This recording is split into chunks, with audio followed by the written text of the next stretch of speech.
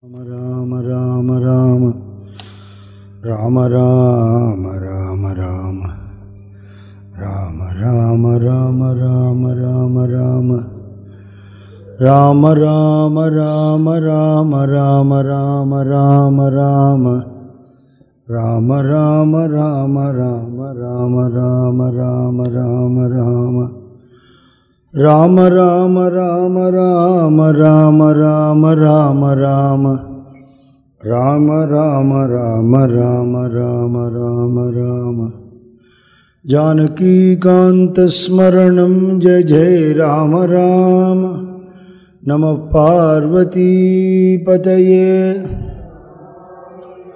गोपिकाजीवनस्मरणम्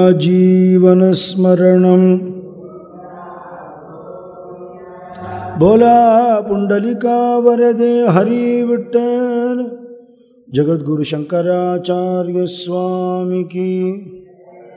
सद्गुरु ज्ञानानंद गिरि भगवान की। जय श्री गुरु महाराज की।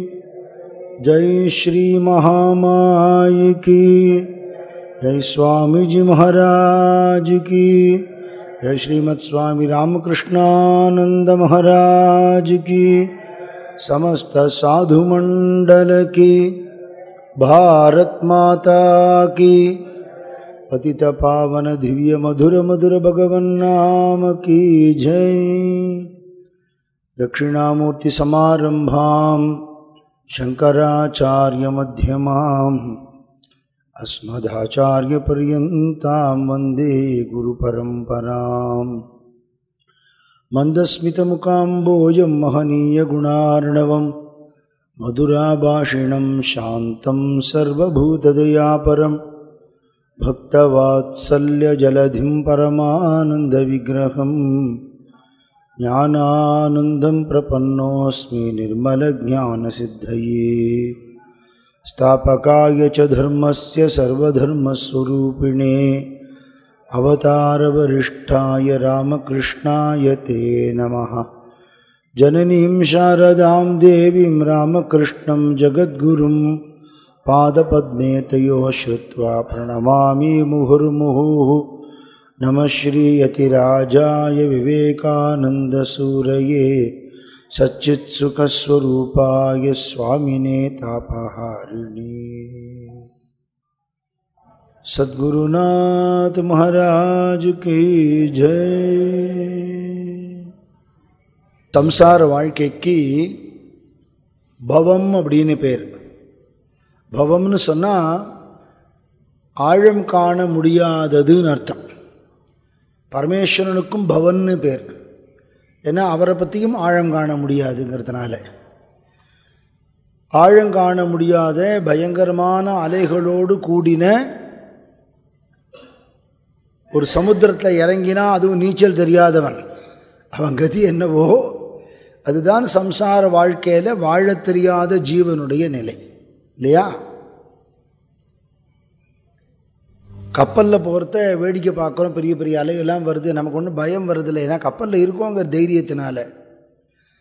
கன்னியாகுமரியில் விவேகானந்த சுவாமியுடைய ராக்குக்கு போகும்போது அந்த படகு இப்படி இப்படி இப்படி இப்படி இப்படி ஆடும். இல்லையா? ஆனால் பயம் வராது. ஏன்னா பத்திரமா போயின்னு இருக்கோம். மோட்டார் படகுல போகிறோம் பத்திரமா போகிறோங்கிற எண்ணத்தினால ஒன்றும் ஆகாது. இதே அந்த சமுத்திரத்தை விழுந்துட்டோம்னா நம்ம கதி என்ன? இல்லையா? நீந்தி கரையேறிட முடியுமா? ஜெகநாதபுரியில் பகவான் ஜெகநாதர் சுபத்ரா பலபத்ரா மூணு பேரும் ஒரு பெரிய உடன் லாக் மரக்கட்டைகளாக தானே கிடச்சா.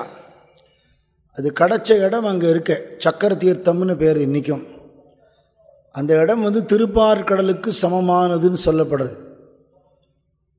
அந்த இடத்துல கார்த்தால போய் நம்ம ஸ்நானம் பண்ண போனால் அந்த சூரிய ஒளியில் அந்த இடம் நிஜமாகவே க்ஷீராப்தி மாதிரியே தான் இருக்கும். பார்க்கடல் மாதிரி தான் இருக்கும். அங்கே போய் ஸ்நானம் பண்ணினா விசேஷங்கிறதுனாலே நம்ம பூரி யாத்திரை போகும்போதெல்லாம் நிறைய பேர் பக்தாள் ஸ்நானம் பண்ண வருவா. எவ்வளோக்கு எவ்வளோ ஆசையாக இருக்கோ கிட்ட போனால் புஸ்ஸு புஸ்ஸுன்னு இந்த அலை எழும்புறது பார்த்தா பயம் வந்துடும். அப்போ அங்கே இருக்கக்கூடிய படகோட்டிகளில் அவளுக்கு அது தொழில் பிரவிற்த்தி அந்த இதில் ஒன்று கட்டி விடுவா இடுப்பில். ஒரு டயர் மாதிரி. தைரியமாக குளிக்கும் ஒன்றும் ஆகாதும்பா. அப்படி இழுத்துன்னு போனால் நாங்கள் தூக்கின்னு வர்றோம் அப்படிம்பா. நீச்சல் தெரியாதவாள்லாம் ஒரு ஆசைப்பட்டு இறங்கிடுவா. நான் கரையில் நின்று வேடிக்கை தான் பார்ப்பேன். ஒரு அலையில் அடித்து தூக்குறத குய்யோ முறியோன்னு கத்துவோம் ஜெகநாதா கிருஷ்ணாலாம் வாயில் வரவே வராது. ஐயோ. ஆனால் அது கட்டி இருக்கிறதுனால சாக மாட்டான். என்னண்ட என்னண்டி தூக்கி அடிக்கும். மூச்சு திணறி தவிச்சு போய் நில குலைஞ்சு அப்புறம் ரொம்ப தவிக்கிறான்னு தெரிஞ்ச உடனே இவன் போய் இழுத்துன்னு வந்துடுவான் அது ஒரு ஆளுக்கு இவ்வளவுன்னு பணம். இதை விட பயங்கரமானது வாழ்க்கை பெருங்கடல்னு சொல்கிறோம் இல்லையா? வாழ்க்கை பெருங்கடலில் அலைகள் வாழ்த்த வியப்பும் உண்டோ?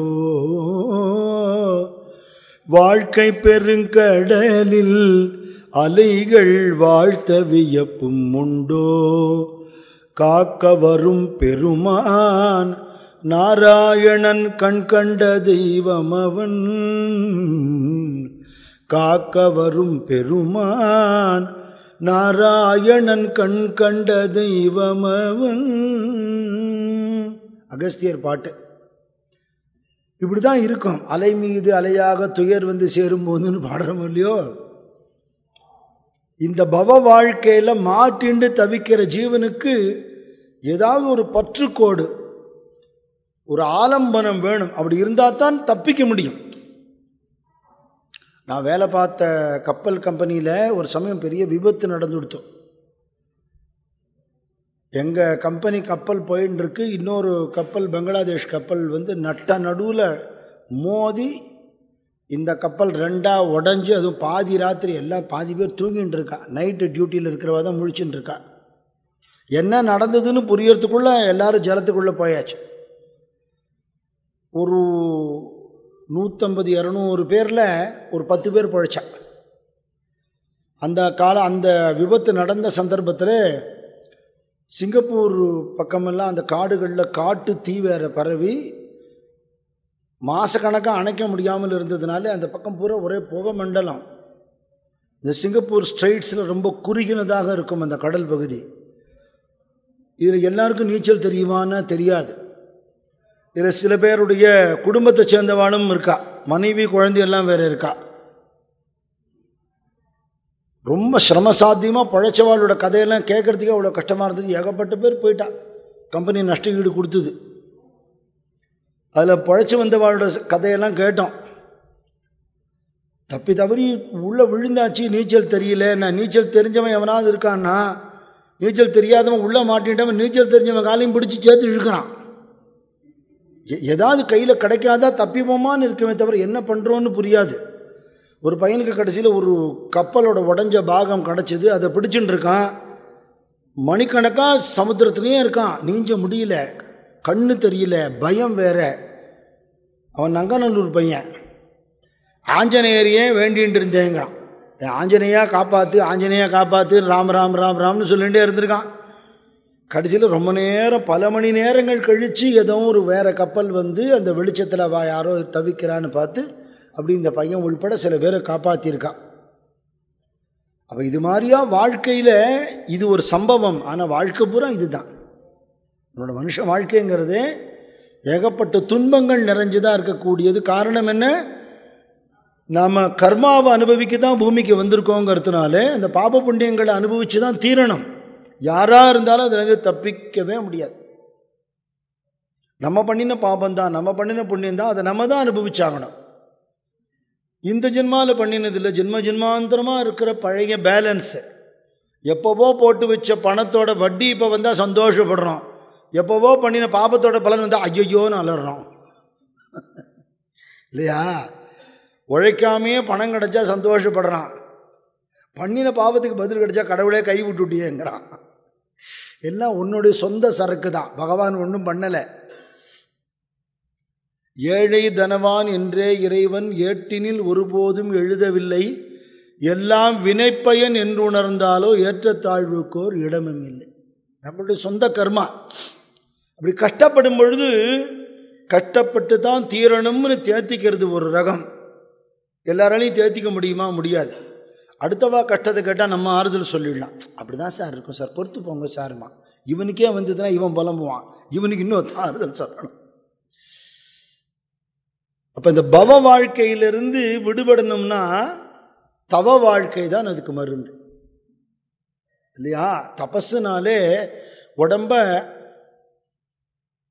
தப்பிக்கும்படியாக தவிக்கும்படியாக பண்ண வைக்கிறது. அதுதான் தபஸ். மனசில் கவலை வேதனைனால சரியாக சாப்பிட முடியாமல் தூங்க முடியாமல் கஷ்டப்பட்டு திண்டாடுறது ஒரு பக்கம். பகவானை நினச்சி அவருடைய எண்ணத்தினாலே ஆகாரத்தை சுருக்கி கொண்டு நியமத்தோட கண்முழிச்சு பகவானை பஜனை பண்ணி நல்ல புஸ்தகங்களை படிக்கிறதும் கேட்கறதும் நாம ஜபம் பண்ணுறதும் தியானம் பண்ணுறதும் சரீரத்தினால பிரத்தியாருக்கு உண்டான கைங்கரியங்கள் சேவைகளை பண்ணுறதும் தெய்வ கோவிலில் தொண்டுகள் பண்ணுறதுமாக சரீரத்துக்கான தபசு மனசுக்கான தபசு வாக்குக்கான தபஸுன்னு பண்ணிட்டா இந்த பவத்தை தவம் தீர்த்து விடும் பவங்கிறது வாழ்க்கை பெருங்கடலில் வரக்கூடிய துக்கம். அந்த துக்கத்திலேருந்து எப்படி தப்பிக்கிறதுனா தபஸ் அப்படிங்கிறது ஒன்று தான் பதில். வாழ்க்கையில் கஷ்டம் நேரும் பொழுது கஷ்டத்தை நினச்சி புலம்புறது தெய்வத்தை வெய்யறது இது ஒரு ரகம். அந்த தெய்வத்துக்கிட்ட தான் போய் ஆறுதல் தேட முடியும்? தப்பு பண்ணின குழந்தையும் அம்மா ரெண்டு சாத்து சாத்துறா. அம்மா காலை கட்டிட்டு அம்மான்னு அழுவுது. எங்கே போவோம்? அடித்த அம்மாவை தான் அடித்தாலும் அணைத்தாலும் அன்னை நீயே. கதின்னு அம்மாட்ட தானே விழுந்தாகணும். அது தெய்வம் நம்மளை தண்டிக்கலை. நாம் பண்ணின பாப புண்ணியங்களே நம்மளை தண்டிக்கிறது. தெய்வம் காப்பாத்துறது. அது உணர்ந்துண்டு அந்த கஷ்டத்திலேருந்து நிவாரணம்ங்கிறது தெய்வீகமான வாழ்க்கையினால தவ வாழ்க்கையினால கிடைக்கும் அப்படின்னு உணர்ந்தவா வாழ்க்கையில் நிம்மதி அடைஞ்சு விட்றா. அப்போ அவளை கஷ்டம் நின்று போயிடுறதான்னு கேட்டால் கஷ்டம் இருக்க. எப்படி? கனவில் வர்ற கஷ்டம் போல இருக்கு. என் கனவில் யாரோ ஒருத்தர் என்னை செவுக்கால் அடிச்சுட்டான்னா எழுந்திரத்தை பார்த்தா ஒன்றுத்தையும் காணும் இல்லையா? அது மாதிரி கனவு வாழ்க்கையாக ஏ ஜகுமாயா சபு சப்னன் கீ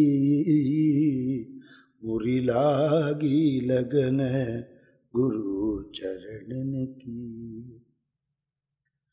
குருவின் மலரடியே எங்கும் என் கண்ணால் பார்த்து நின்றேன். மற்றெல்லாம் மாயை பொய்யனும் கனவில் கண்ட பொருள் போ நினைத்தேன். அதனால் நிம்மதியடைந்தேன் உலகை மறந்தேன் ஆனந்தம் தான் அடைந்தேன் அவ்வளவு கனவு.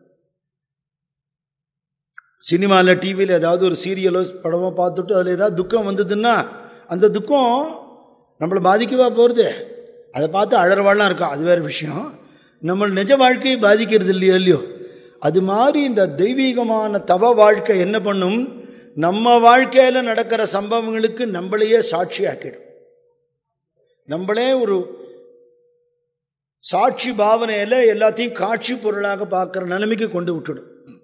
அப்படி நடந்த ஒரு அம்மாவோட சரித்திரம் தான் இன்னைக்கு நாம் அனுபவிக்க போகிறோம் குரு மகாராஜோட கருணையால். அவளுக்கு பேர் யோகீந்திர மோகினின்னு பேர். யோகீந்திரன் யாரு? பரமேஸ்வரன். சிவபெருமான் தான் யோகிகளுக்கெல்லாம் தலைவர் இல்லையா? ஆதி யோகி அவர் தானே அந்த யோகீந்திர மோகினி யாரு? அம்பாள் காளி பவதாரணி.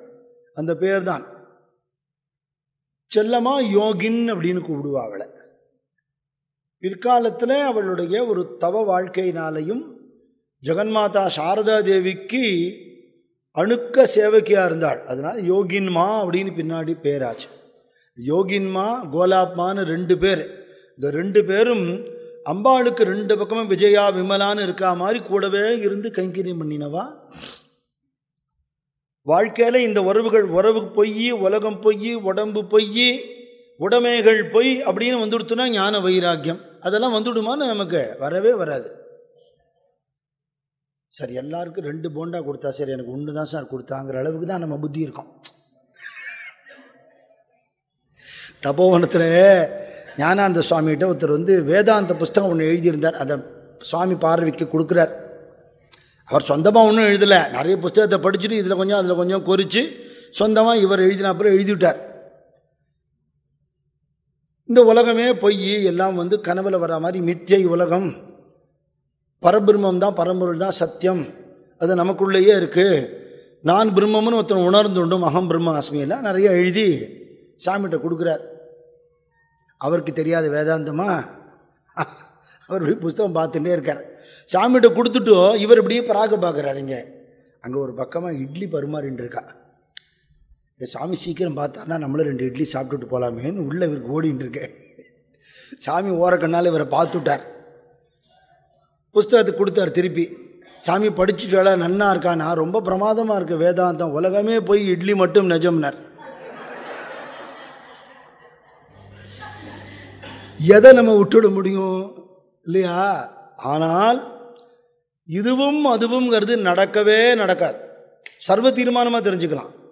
பகவானோட அனுகிரகத்தினால இல்வாழ்க்கையில் வாழலாம். பகவான் வேணும்னா தியாகம் பண்ணியாகணும். நானா என் ஐஸ்வர்யமான கடவுள் கேட்குறேன் நான் வேணுமா? நான் மட்டும் வேணும்னு என்கிட்ட வா. இல்லை நான் தூக்கி விட்டு எறிகிறதெல்லாம் வேணுமா? எடுத்துன்னு ஓடு. அவ்வளோதான் அப்போ வைராக்கியமாக இருக்க முடியாத சூழ்நிலையில் தெய்வம் பண்ணுற கருணை தான் நமக்கு வாழ்க்கையில் நேரக்கூடிய துன்பங்களும் விபத்துகளும். உன்னால் எதையும் விட முடியலையோ இல்லையோ அதெல்லாம் ஒன்றை விடுற மாதிரி பண்ணுறேங்கிற அவ்வளோதானே பதவியை விட முடியாது பணத்தை விட முடியாது வீடை விட முடியாது உறவுகாரால விட முடியாது. சரி எத்தனை நாளைக்கு? ஒரு நாளைக்கு அதெல்லாம் ஒன்றை விட்டுடுமே. அப்போ என்ன பண்ணுவேன் இல்லையா? வாடகை வீட்டில் இருக்கிறவன் தான் அந்த காலத்தில் வீடு மாற்றிகிட்டே இருப்பான். சொந்த வீட்டில் இருக்கிறவனே ட்ரான்ஸ்ஃபர் ஆனால் வீடு மாற்றிகிட்டே இருக்கான். ஊருக்கு ஒரு வீடு வாங்கி வாடகைக்கு ஆள் கிடைக்காம திண்டாடி பூட்டி வச்சுன்னு தவிச்சுட்டு இருக்கான். எந்த வீட்டில் யார் எத்தனை நாளைக்கு இருக்க முடியும்? தெரியாது. ஆம்படியான் ஒரு ஊரில் இருக்கான் பொண்டாட்டி ஒரு ஊரில் இருக்கா? ஒரே ஊரில் இருந்தாலும் ரெண்டு பேரும் காத்தால இவன் ஒரு ஆஃபீஸுக்கு போகிறான் ஒரு ஆஃபீஸ் போகிறான் ரெண்டு பேரும் அர்த்தராத்திரி வரா. பேசுறதுக்கு கூட நேரம் கிடைக்க மாட்டேங்கிறது. பணம் பணம் பணம் பணம் பணம் பணம் அவ்வளோதான் அப்போ இதை விட்டு நம் பகவான் எங்கே நினைக்க போகிறோம் நமக்கு நேரம் கிடையாது. இல்லையா? அமர்ந்து நெடுங்குரலில் அயல்மனையாளருடன் அழுத்த பழங்கதைகள் நினைத்து நினைத்து சொல்வார். நிமலனை பாடவா என்றால் நேரமே இல்லை என்பார் இவர்கள் நமது வழி வருதல் கடினம்ங்கிற ரகசியம். சத்சங்கத்துக்கு வரமாட்டான். வம்பு பேசுறதுக்கு நிற்பான் அப்போ இந்த உறவுகளும் உடைமைகளும் நம்மளை விடக்கூடிய சூழ்நிலை வந்தால் கடவுளே என்னை கட்டப்படுத்துறியேன்னு கேட்டுட்டா அசத்து. இதெல்லாம் நானே விட வேண்டி இருக்க எங்கிட்டேருந்து நீ பிடுங்கி நுட்டியே. எனக்கு நீ கருணையை லீவ் பண்ணியிருக்க. துக்காராம் மகாராஜ் சொல்கிறார் இந்த வாழ்க்கை. இந்த வார்த்தை அவரோட வாழ்க்கையில் வரக்கூடிய வார்த்தை. இருபத்தேழு வயசு வரல நல்லா வியாபாரம் பண்ணிட்டு இருந்தார்.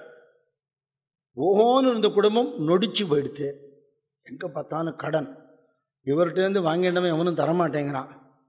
இவர் தர வேண்டியவாள்லாம் இவர் நெருக்கிறா. முதல் மனைவி காலமானா? முதல் குழந்த காலமாச்சு. ரெண்டாவது பொண்டாட்டி பணக்கார வீட்டிலேருந்து வாழ்க்கப்பட்டவள் வீடு ஏழ்மையாக போனதுனால இவர் இடிச்சு காட்டிகிட்டே இருந்தா. வீட்டில் இருக்க முடியல வெளியில் தலை காட்ட முடியல. இந்த சூழ்நிலையில் ஒருத்தன் எப்படி இருப்பான்? இவர் என்ன பாடுறார்? பாண்டுரங்கா என்ன கருணையப்பா அவனுக்கு? நான் உட்காந்து கல்லால் பணத்தை எண்ணிட்டு இருந்தால் உன் நாம அவனை எப்படி சொல்லுவேன்? என் வியாபாரத்தை இழுத்து மூடி நிறைய ஜெபம் பண்ணுற மாதிரி பண்ணிவிட்டியே. என் முதல்ல குழந்தை செத்து போயிட்டான். வருத்தப்படுறதுக்கு என்ன இருக்குது அவன் கர்மா அவ்வளவுதான். விளக்கில் எண்ணெய் தீந்து போனால் விளக்கு அணைஞ்சு போயிடும். அவன் புண்ணியசாலி சின்ன வயசுலேயே உங்கள்கிட்ட வந்துட்டான். என் பொண்டாட்டி காச நோயால் கஷ்டப்பட்டு இருந்தா அவள் எத்தனை வருஷத்துக்கு கஷ்டப்படணும்? கஷ்டத்தை தீர்த்து உங்கள்கிட்ட கூப்பிட்டுன்னு விட்டேன். வீட்டில் இருந்தால் சத்தம் போடுறா. ஊரில் நடமாடினா கடங்காரா திட்டுறா.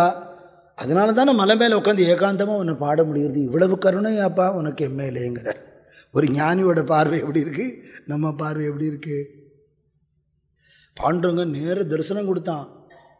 உனக்கு என்ன வரம் வேணும்னு கேட்டான். அப்பா என் கடனெல்லாம் தீர்த்து வையப்பா. ஒரு அஞ்சு கோடி ரூபாய் டெபாசிட் போட்டு. இல்லையா? ஒரு பங்களா கட்டி கொடு. இப்படி கேட்கலாமா? கேட்டால் கொடுக்குறேங்கிறான். என்ன கேட்டாலும் தரேங்கிறான். வரம் வேணான்னு சொல்லலை வரமும் கேட்டுவிட்டார் சாவளி சுந்தர ரூப மனோகர சாவளி சுந்தர ரூப மனோகர. ராஹோ நிரந்தர हृदयी माझे ஷியாமல சுந்தர ரூபம் இருக்கே எனக்கு தரிசனம் கொடுத்தியே கண்ணை மூடி நான் திறந்தாலும் ராத்திரி பகலும் இந்த உருவம் என் ஹிருதயத்தில் ராகோ நிலச்சிருக்கணும் நிரந்தர ஹிருதயே மாசே சாவள சுந்தர ரூப மனோகர அது தரேன்டா. அது நானே கொடுக்குறேன். வேற ஏதாவது கேளு. ஆணிக்க காஹி இச்சாமா நாகிஞ்சாட இன்னும் ஒரு வரம் கேட்டுக்கோ. துஜே நாம கோட பாண்டுரங்கா. மதுரமான ஒரு நாமம் என் நாக்கில் இருக்கணும். உன் ரூபம் என் ஹிருதயத்தில் இருக்கணும். வேற ஒன்றும் வேணும். யோஜனை பண்ணிக்கோ. ஏதா கேளு. கேட்கலாமா? கேளு. எத்தனை ஜென்மம் எடுத்தாலும் இதே தான் கேட்பேன். அந்த மாதிரி ஒரு பாக்கியத்தை கொடு. ஜென்மோ ஜென்மி ஐசே மாகித்தலே துசே அமாசி சகஜ ஆத்தாவளி சுந்தர ரூப மனோக அச்சு பிச்சுன்னா நமக்கு தோன்றது. இந்த மாதிரி ஆள்லாம் பார்த்தா பாண்டவன் எப்படி வச்சானா சரீரத்தோட உடம்போட வைகுண்டம் போனார். நாற்பத்தி ரெண்டு வயசுலேயே சத்திரபதி சிவாஜியெல்லாம் அவர் காலில் விழுந்தான். அவர் நினைச்சா என்ன வேணா பண்ண முடியுங்கிற சக்தி இருந்து ஒரு கல் எடுத்து கொடுத்தா அந்த கல் தங்கமாக ஆகிடும் அவ்வளவு சித்திகள் இருந்தும் ஏழையாகவே எளிமையாகவே இருந்தார். ஏன்னா உலகியல் வாழ்க்கையும் தெய்வீக வாழ்க்கையும் ஒன்று சேரவே சேராது. ரெண்டு தண்டவாள மாதிரி தான் ஒன்று சேராது. அதனால் உலகியல் வாழ்க்கையில் தெய்வத்தோட கருணையோட சௌக்கியமாக வாழலாம். அது நம்மளால முடியும். பிரார்த்தனை பண்ணால் ஒழுங்காக வாழ்ந்தால் தார்மீகமாக இருந்தால் கடவுள் கருணை பண்ணுவார். எப்பா எனக்கு இதெல்லாம் வேணாம் நீ வேணும்னு சொன்னேன்னா எல்லாத்தையும் விட்டுட்டு வாங்க. இதுதான் கண்டிஷன் இல்லையா? ஒரு தேச சேவை பண்ணணுமா மிலிட்ரியில் போய் வேலை செய்யணும்னா எல்லாத்தையும் விட்டுட்டு தான் அங்கே போய் நிற்கிறான் பண்டாட்டி இருக்கா பிள்ளை இருக்கா நீ பக்கத்துலேயே இருக்க முடியும். எங்கேயோனா உட்காந்துருக்க எல்லையில். என்னைக்கு உயிர் போகும்னு தெரியாது. என்னைக்கு என்ன நடக்கும்னு தெரியாது. இந்த தேசத்தை காப்பாற்றுறதுக்கு கண்ணை முழிச்சுன்னு ராபம் பகலுமான எத்தனை பேர் நிற்கிறாங்க அது ஒரு தியாகம் இல்லையா? தியாகம் பண்ணினாலொழிய பகவானை நேருக்கு நேர் அடைய முடியாது. ஆனால் பகவானோட அருளை அடைய முடியும் தெய்வீகமான வாழ்க்கையினால். ஒரு தவ வாழ்க்கை வாழ்ந்தவள் இந்த அம்மா கல்கத்தாவிலே ஒரு பெரிய பிரபல மருத்துவருடைய மகள் நல்ல வசதி பெரிய வீடு. அந்த காலத்து வழக்கப்படி ஏழு வயசுல கல்யாணம் ஏற்பாடு பண்ணினான் நேத்தி கௌரிமா சரித்திரம் சொன்னேன் இல்லையா? அந்த அம்மாவும் ஒரு கோபிகைன்னு சொல்லியிருக்கார் குருமகராஜ் இவளும் யோகினியும் ஒரு குரு ஒரு கோபிகை தான் அவள். பூர்வத்தில் கோபியா இருந்தவள் பிருந்தாவனத்திலே அவளே தான் இங்கே வந்திருக்கா. பகவான் பூமிக்கு வரும்போது அவரோட யாரெல்லாம் எந்தெந்த காலத்தில் இருந்தாலோ எல்லாரும் திருப்பி வருவா அவளோட சேர்ந்து. எந்த மாதிரியான குடும்பத்தில் சம்பந்தம்னா இவா பணக்காரா இல்லையா? அது மாதிரி தானே பார்ப்பா. இவாளை விடவும் பணக்காராளாக இருக்கணும் அப்படி பார்த்தா. ஒரு குடும்பம் கிடச்சிது. நல்ல தெய்வ பக்தி இருக்கிற குடும்பம். எப்படி தெய்வ பக்தினா அவள் பூஜை அறையில் சில பேர் வீட்டில் சால கிராமம் இருக்கும். பார்த்துருப்பேன் நீங்கள் மகாவிஷ்ணுவுடைய உருவ அருவ வடிவம் இல்லையா? ஒரு சாலக்கிராமம் வச்சுப்பா சில பேர் ரெண்டு மூணு வச்சுட்டு இருப்பா ஒரு லட்சம் சாலு கிராமத்தை வச்சு பூஜை அறை கட்டணும்னு தீர்மானம் பண்ணிருக்கான் ஒரு எண்பதாயிரம் சேர்த்துட்டோம். அந்த மாதிரியான ஒரு வீடு. அந்த வீடே ஒரு க்ஷேத்திரம் அப்போ. அந்த மாதிரி வீட்டில் சம்பந்தம் கிடச்சிது. தடபடலாக கல்யாணம் பண்ணினா. அவள் ஒரு பக்கம் ஹரிபக்தாள் இன்னொரு பக்கம் வங்காளத்தில் இயற்கையாக இருக்கிற மாதிரி சாக்த தந்திரமும் தெரிஞ்சவா. அந்த மாதிரியான குடும்பத்தில் கிடச்சிது. ரொம்ப விமர்சையாக கல்யாணம் பண்ணி ரொம்ப மகிழ்ச்சியாக இருந்தா. ஆனால் ஏழு வயசில் கல்யாணம் பண்ணினா அதுக்கப்புறம் திருப்பி வீட்டுக்கு கூட்டின்னு வந்துடுவா அந்த காலத்து வழக்கம் தான் அப்புறம் அவள் பெரியவள் ஆனதுக்கப்புறம் தான் கொண்டாங்க விடுவாள் அது மாதிரி அவள் பெரிய பொண்ணு ஆன உடனே கொண்டு போய் விடும் பொழுது பார்த்தா ஒரு கவரிங்கி நகை போட்டுட்ட கதையாயிடுது. பணக்காரா தான் ஆனால் பளபளப்பு போயிடுது. என்ன? மாப்பிள மா குடிகாரன். பூதாரி. மாமனார் மாமியார் நல்லவாளாக இருந்து என்ன பண்ணுறது சொத்து பத்து இருந்து என்ன பண்ணுறது குணமே இல்லாதவன். எல்லாம் போக போக சரியாயிடும்னு சொல்லி தானே சேர்த்து வைப்பா இல்லையா? ஆனால் இல்லைன்னா உடனே தூக்கி போட மாட்டான் இந்த காலத்தில் காப்பி போடுறதுல சண்டை வந்தால் டைவர்ஸுங்கிறா நீ போடுறதா காப்பி நான் போடுறதாங்கிறதுல சண்டை வந்தால் வக்கீலை பார்த்துருவோங்கிறா அப்படி ஒரு காலம் இப்போ. அட்ஜஸ்ட்மெண்ட்டுங்கிறதுக்குலாம் அர்த்தமே தெரியாது. ஒருவேளை அவள் ஸ்கூலில் அந்த வார்த்தை சொல்லி தரலையோ என்னமோ தெரில இவளும் அனுசரித்து வாழ்ந்து பார்த்தா அஞ்சு வருஷ காலம் ஓட்டிட்டா. ஜனம் அடி ஓத தான் குடிகாரன்ட்டு குணம் எங்கேருந்து எதிர்பார்க்கலாம். ஒரு பக்கம் குடிகாரன் இன்னொரு பக்கம் ஊதாரி வேறு. அந்த காலத்தில் நூற்றம்பது வருஷத்துக்கு முன்னாடி ஹூக்காவில் ஐநூறுரூபாய்க்கு புகையில வாங்கி ரொப்பிப்பானா எவ்வளோ அயோக்கியம் பாருங்க. குடும்ப செலவுக்கு பணம் கொடுக்க மாட்டான். தண்டத்துக்கு செலவு பண்ணுவான். ஏதாவது கேள்வி கேட்டால் அடி உத. இந்த லட்சணத்தை இவனோட வாழ்ந்து ஒரு பொண்ணும் பிறந்து ஒரு பிள்ளையும் பிறந்து ஒரு ஒரு நாளும் நரக வேதனை. அம்மா பாட்ட சொல்லு அழ முடியாது. சொன்னா என்ன சொல்லுவா? கல்யாணம் பண்ணி கொடுத்துட்டு வண்டி நீ அங்கே இருந்துக்கோ. எப்படியாவது இருன்னு தான் சொல்லுவான் அந்த காலத்தில் இந்த விவாகரத்துங்கிற வார்த்தை கூட கிடையாது இப்போ. அந்த பிள்ளையும் காலமாக எடுத்து இந்த பொண்ணை வச்சுட்டு இவனோட சமாளிக்க முடியல. ஒரு கட்டத்தில் பொறுமை இழந்து போன நிலையில பிறந்து வீட்டுக்கு வரணும்னு நினைக்கிறா. அப்பா இருந்தவர்கள் அனுமதிக்க மாட்டார். ஏதோ தெய்வ செயல் அப்பாவும் காலமாயிட்டார். அம்மா வந்து பரவாயில்லடி கஷ்டமாக இருக்குன்னா வந்துடு நான் பார்த்துக்கிறேன்னுட்டான் வந்துட்டான் அம்மாவோட வந்துட்டான் இனிமேல் அவன் மூஞ்சியிலும் முழிக்கக்கூடாது என்ன பாவம் பண்ணோமோ பூர்வ ஜென்மாவில்? இப்படி ஒரு கஷ்டத்தை அனுபவிக்கிற மாதிரி ஆயிடுத்தே. அம்மாவோட இருந்துண்டு அம்மாவுக்கும் உதவி செஞ்சுண்டு. இப்போ அம்மா என்ன பண்ணா புகுந்த வீட்டில் கேட்டு பிள்ளை அப்படி குடிகாரனாக இருக்கானே தெரியாதனமாக கொடுத்துட்டோம். இந்த பொண்ணு வாழ்க்கை நரகமாக போயிடுத்து குழந்தையும் பிறந்துடுத்து. அந்த காலத்துல ரொம்ப படிக்கவும் மாட்டா பொம்மநாட்டிகள்லாம். அதனால அவள் வாழறதுக்கு ஏதாவது கொடுங்கன்னு சொல்ல அவள் பெரிய மனசு பண்ணி ஏதோ ஒரு தொகை கொடுத்தா அதை வச்சுண்டு குடும்பத்தை நடத்த வேண்டிய ஒரு நிலைமை. வசதிங்கிறது ஆம்பளை இருக்கிறவங்க இருக்கும். அந்த வீட்டுக்காரர் போயிட்டாருன்னா வசதி கொஞ்சம் கொஞ்சமாக குறைஞ்சி தானே போகும். பொண்ணை ஒரு வழியாக வளர்த்து கல்யாணம் பண்ணி கொடுத்துட்டா இந்த யோகினி. வாழ்க்கையில் எங்கே பார்த்தாலும் ஒரு வெறுமை ஒரு நிம்மதி இல்லை.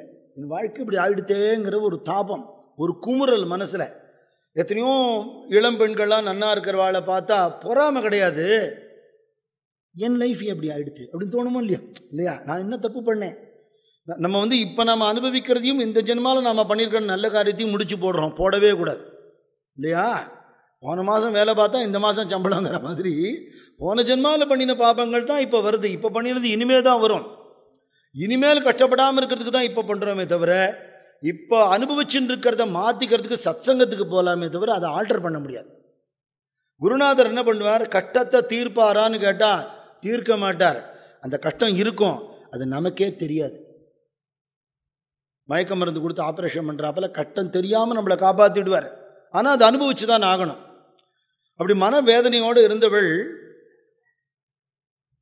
பக்கத்தில் பல்ராம் போஸ் வீடு. அங்கே குருமராஜ் வராருன்னு கேள்விப்பட்டான் பக்தாள் வீட்டுக்கு அப்பப்போ அழைப்பா கல்கத்தாவுக்கு வருவார். அவரே சொல்லி கொடுத்த சம்பிரதாயத்தை முடி பாடுறதுக்கு ஆட்களை கூப்பிடுவா அவள்லாம் பாடுவா. பாடும்போது பஜனை கேட்டுட்டே இருப்பார். திடீர்னு அவரும் சேர்ந்து பாட ஆரம்பிச்சிடுவார் அவள்லாம் வந்து பாடி முடித்த உடனே சம்பாவனை கிடைக்கும்னு பாடுறவா. அது சம்பாவனைக்கான பஜனை. இது பாவனைக்கான பஜனை. பக்தி பாவனை. உள்ள முருகி கதறி தன்னை மறந்து தன்மயமாகி பாடுவார். எல்லார் மனசும் உருகி போயிடும். பக்தி இல்லாதவாளுக்கும் பக்தி வந்துடும். அதுக்கப்புறம் அதுலேருந்து கட கட கட கட கடன்னு பேச ஆரம்பிப்பார். அப்புறம் எழுந்து சுழண்டு சுழண்டு ஆடி பாடுவார்.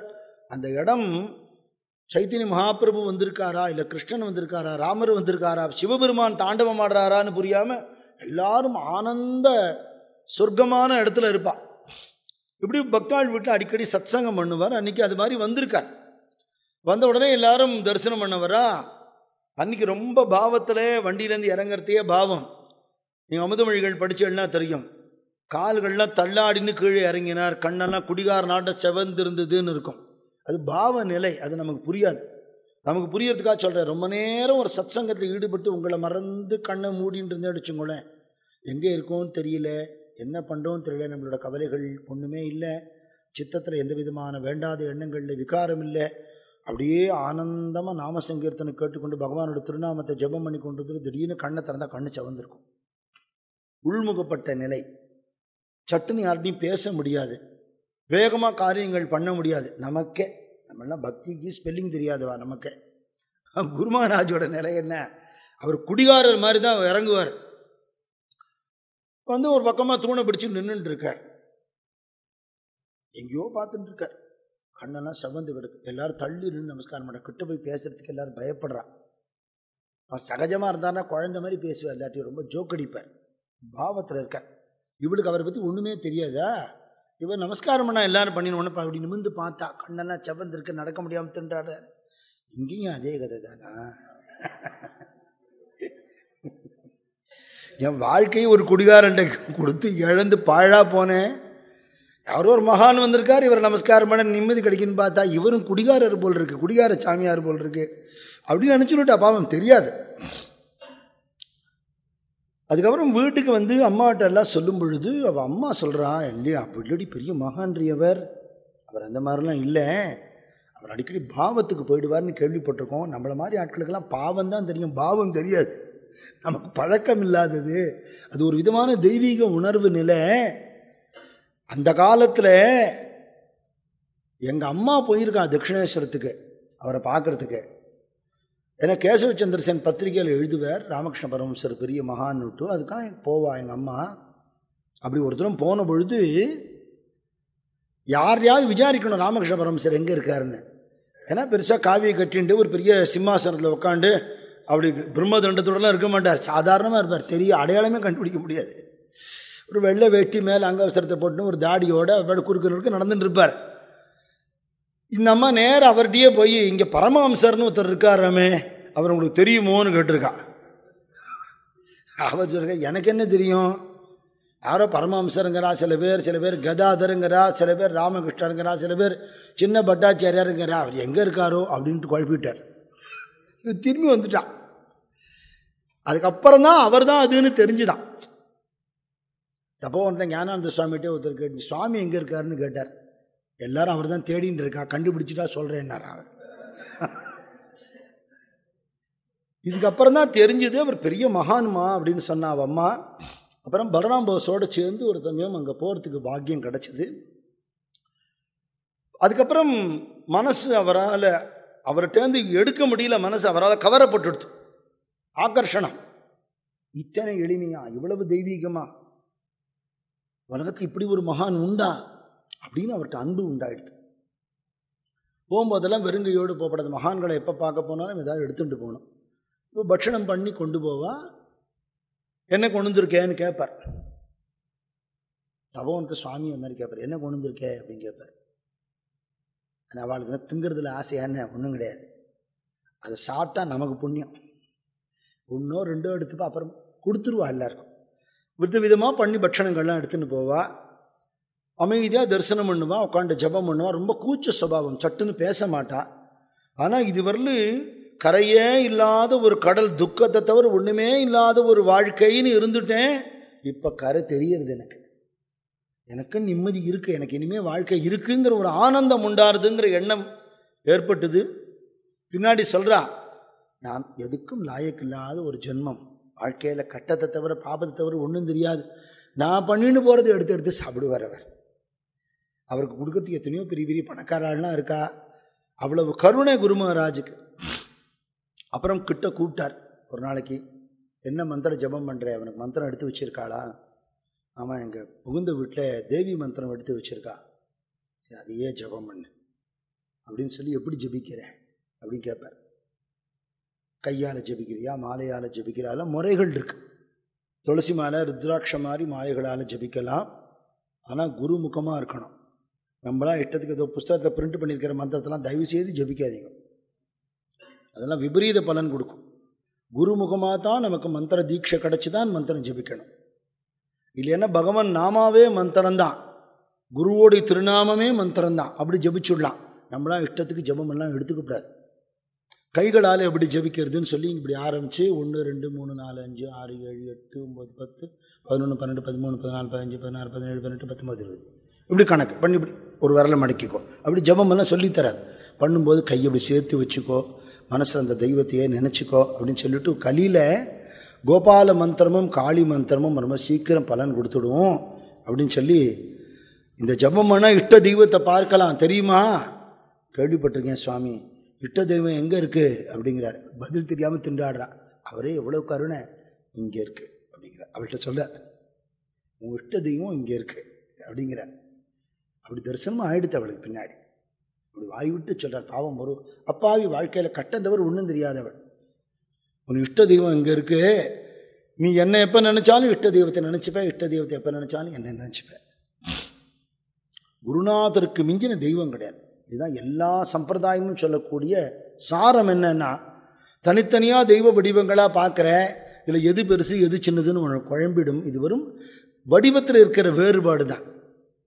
எல்லாம் சேர்ந்த ஒரு பொருள் எதுன்னு அது குருநாதரோட வடிவம் மட்டும்தானே இல்லையா? அதுக்கப்புறம் அம்மாட்ட ஐஷன் வந்து உன் கூடவே அவளை வச்சுக்கோன்னு சொன்னார்.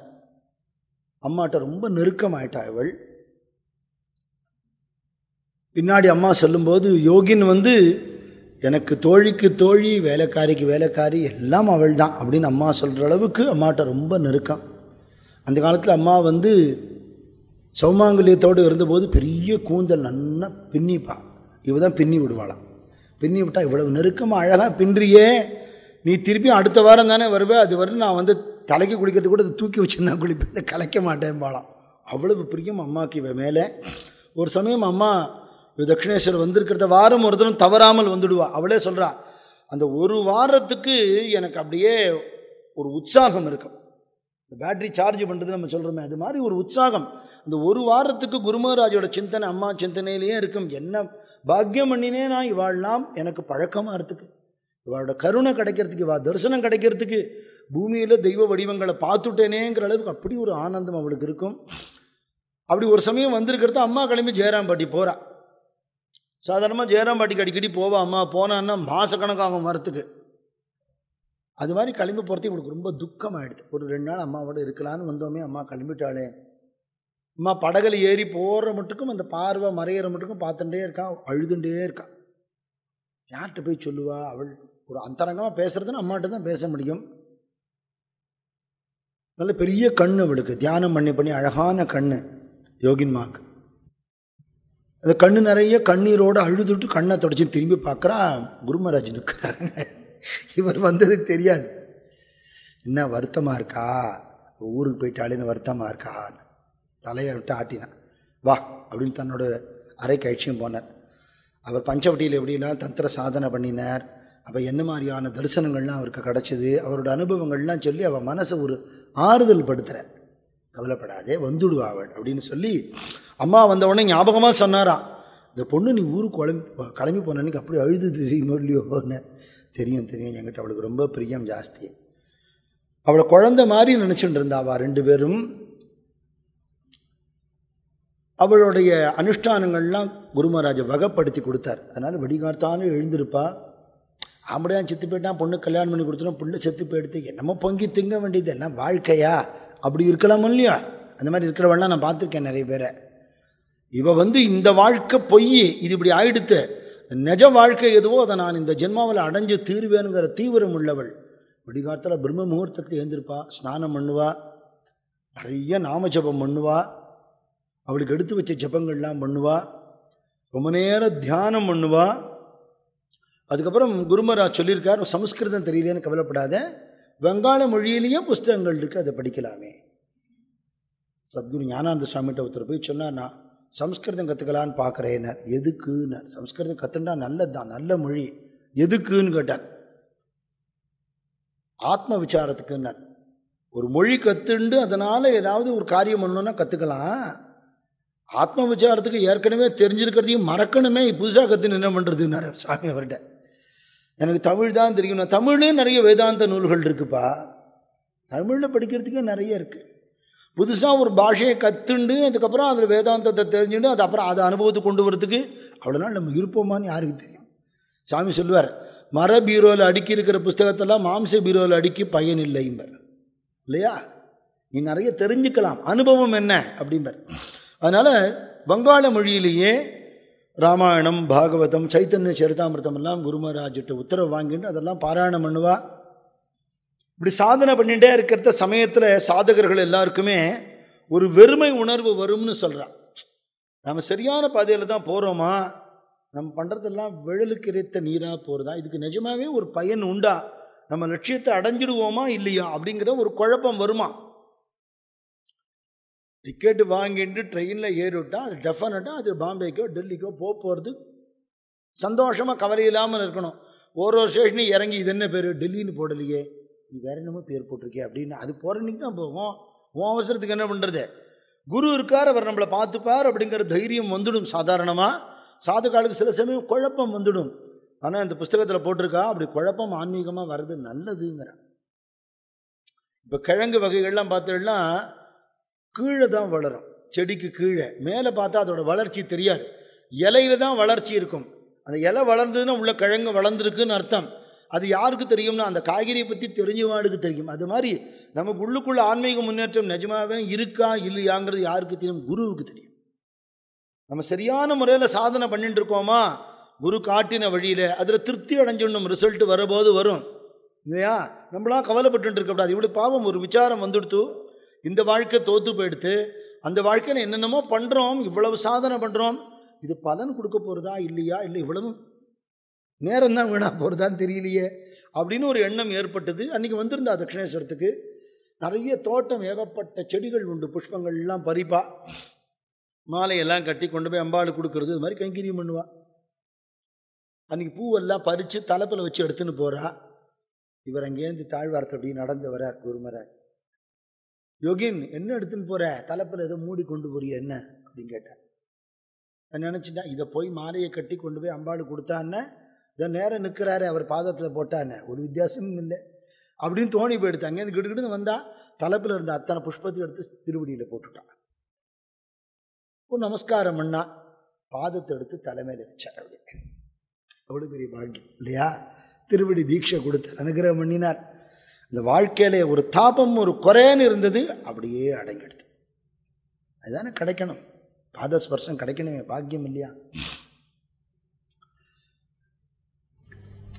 சொல்றா பின்னாடி நான் மனசுல ஏதாவது நினைச்சுட்டு இருப்பேன் கேட்கறதுக்கு தயங்குவேன் வேற யார்கிட்டயோ பேசுறாப்புல பேசுவார் அதுல எனக்கு பதில் இருக்குங்கிறா இது ஞானிகளோட பழகிற எல்லாருக்கும் இந்த அனுபவம் உண்டு.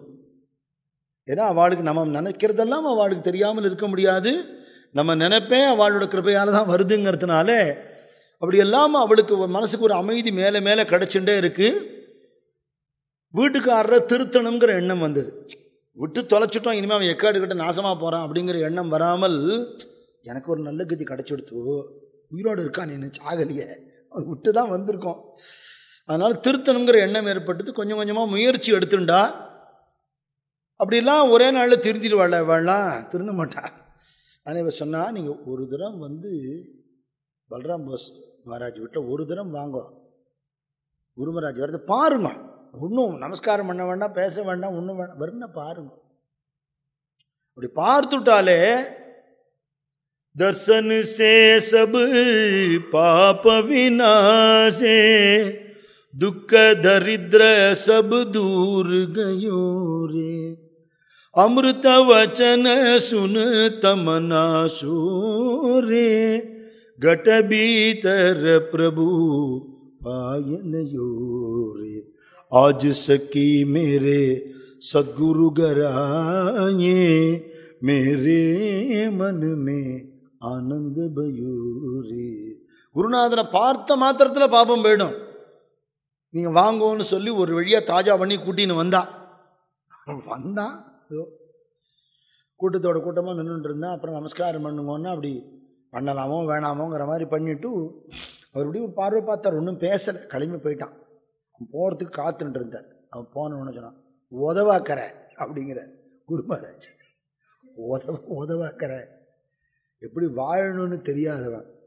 குடும்பத்தை நடத்த தெரியல. கிரகஸ்தனுக்கு கடமை இருக்கு. பித்திருக்களுக்கு கடமை இருக்குது முன்னோர்களுக்கு கடமை இருக்குது தெய்வத்துக்கு கடமை இருக்குது ரிஷிகளுக்கு கடமை இருக்குது நல்ல பத்திவிருத்தியாக பொண்டாட்டி இருந்தானா? அவளை காப்பாற்ற வேண்டிய கடமை இருக்குது குழந்தைகளுக்கு செய்ய வேண்டிய கடமை இருக்குது ஒன்றுத்துக்கும் லாயக்கில்லை தெய்வீகமும் இல்லை மனுஷத்தன்மையும் இல்லை அப்படின்னா அவன் என்ன பண்ணுறது உதவாக்கிறேன் தான் திட்ட முடியும்.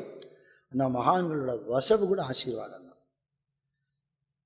யாரை நினைச்சா நம்மளோட பாபம் போயிடுமோ? அந்த மகான் வையறதுக்காகவாவது ஒருத்தனை நினைச்சாரோ இல்லையோ இத்தனை பாவமும் போயிடுது. திருத்திட்டான். உதவாக்கரியா இருந்தவன் கொஞ்சம் கொஞ்சமாக பாபங்கள்லாம் விட்டு திருந்தினான். ஆனால் அதுக்கு அவனுடைய ஆயுசு முடிய போகிறதுங்கிறதுனால நல்லவன் ஆயிட்டான்ங்கிறதுக்கு அப்புறம் வாழறதுக்கு பாக்கியம் இல்லை. எங்கேயோ நாய் கடிச்சு கொடுத்து காய்ச்சல் வந்தது அவனுக்கு.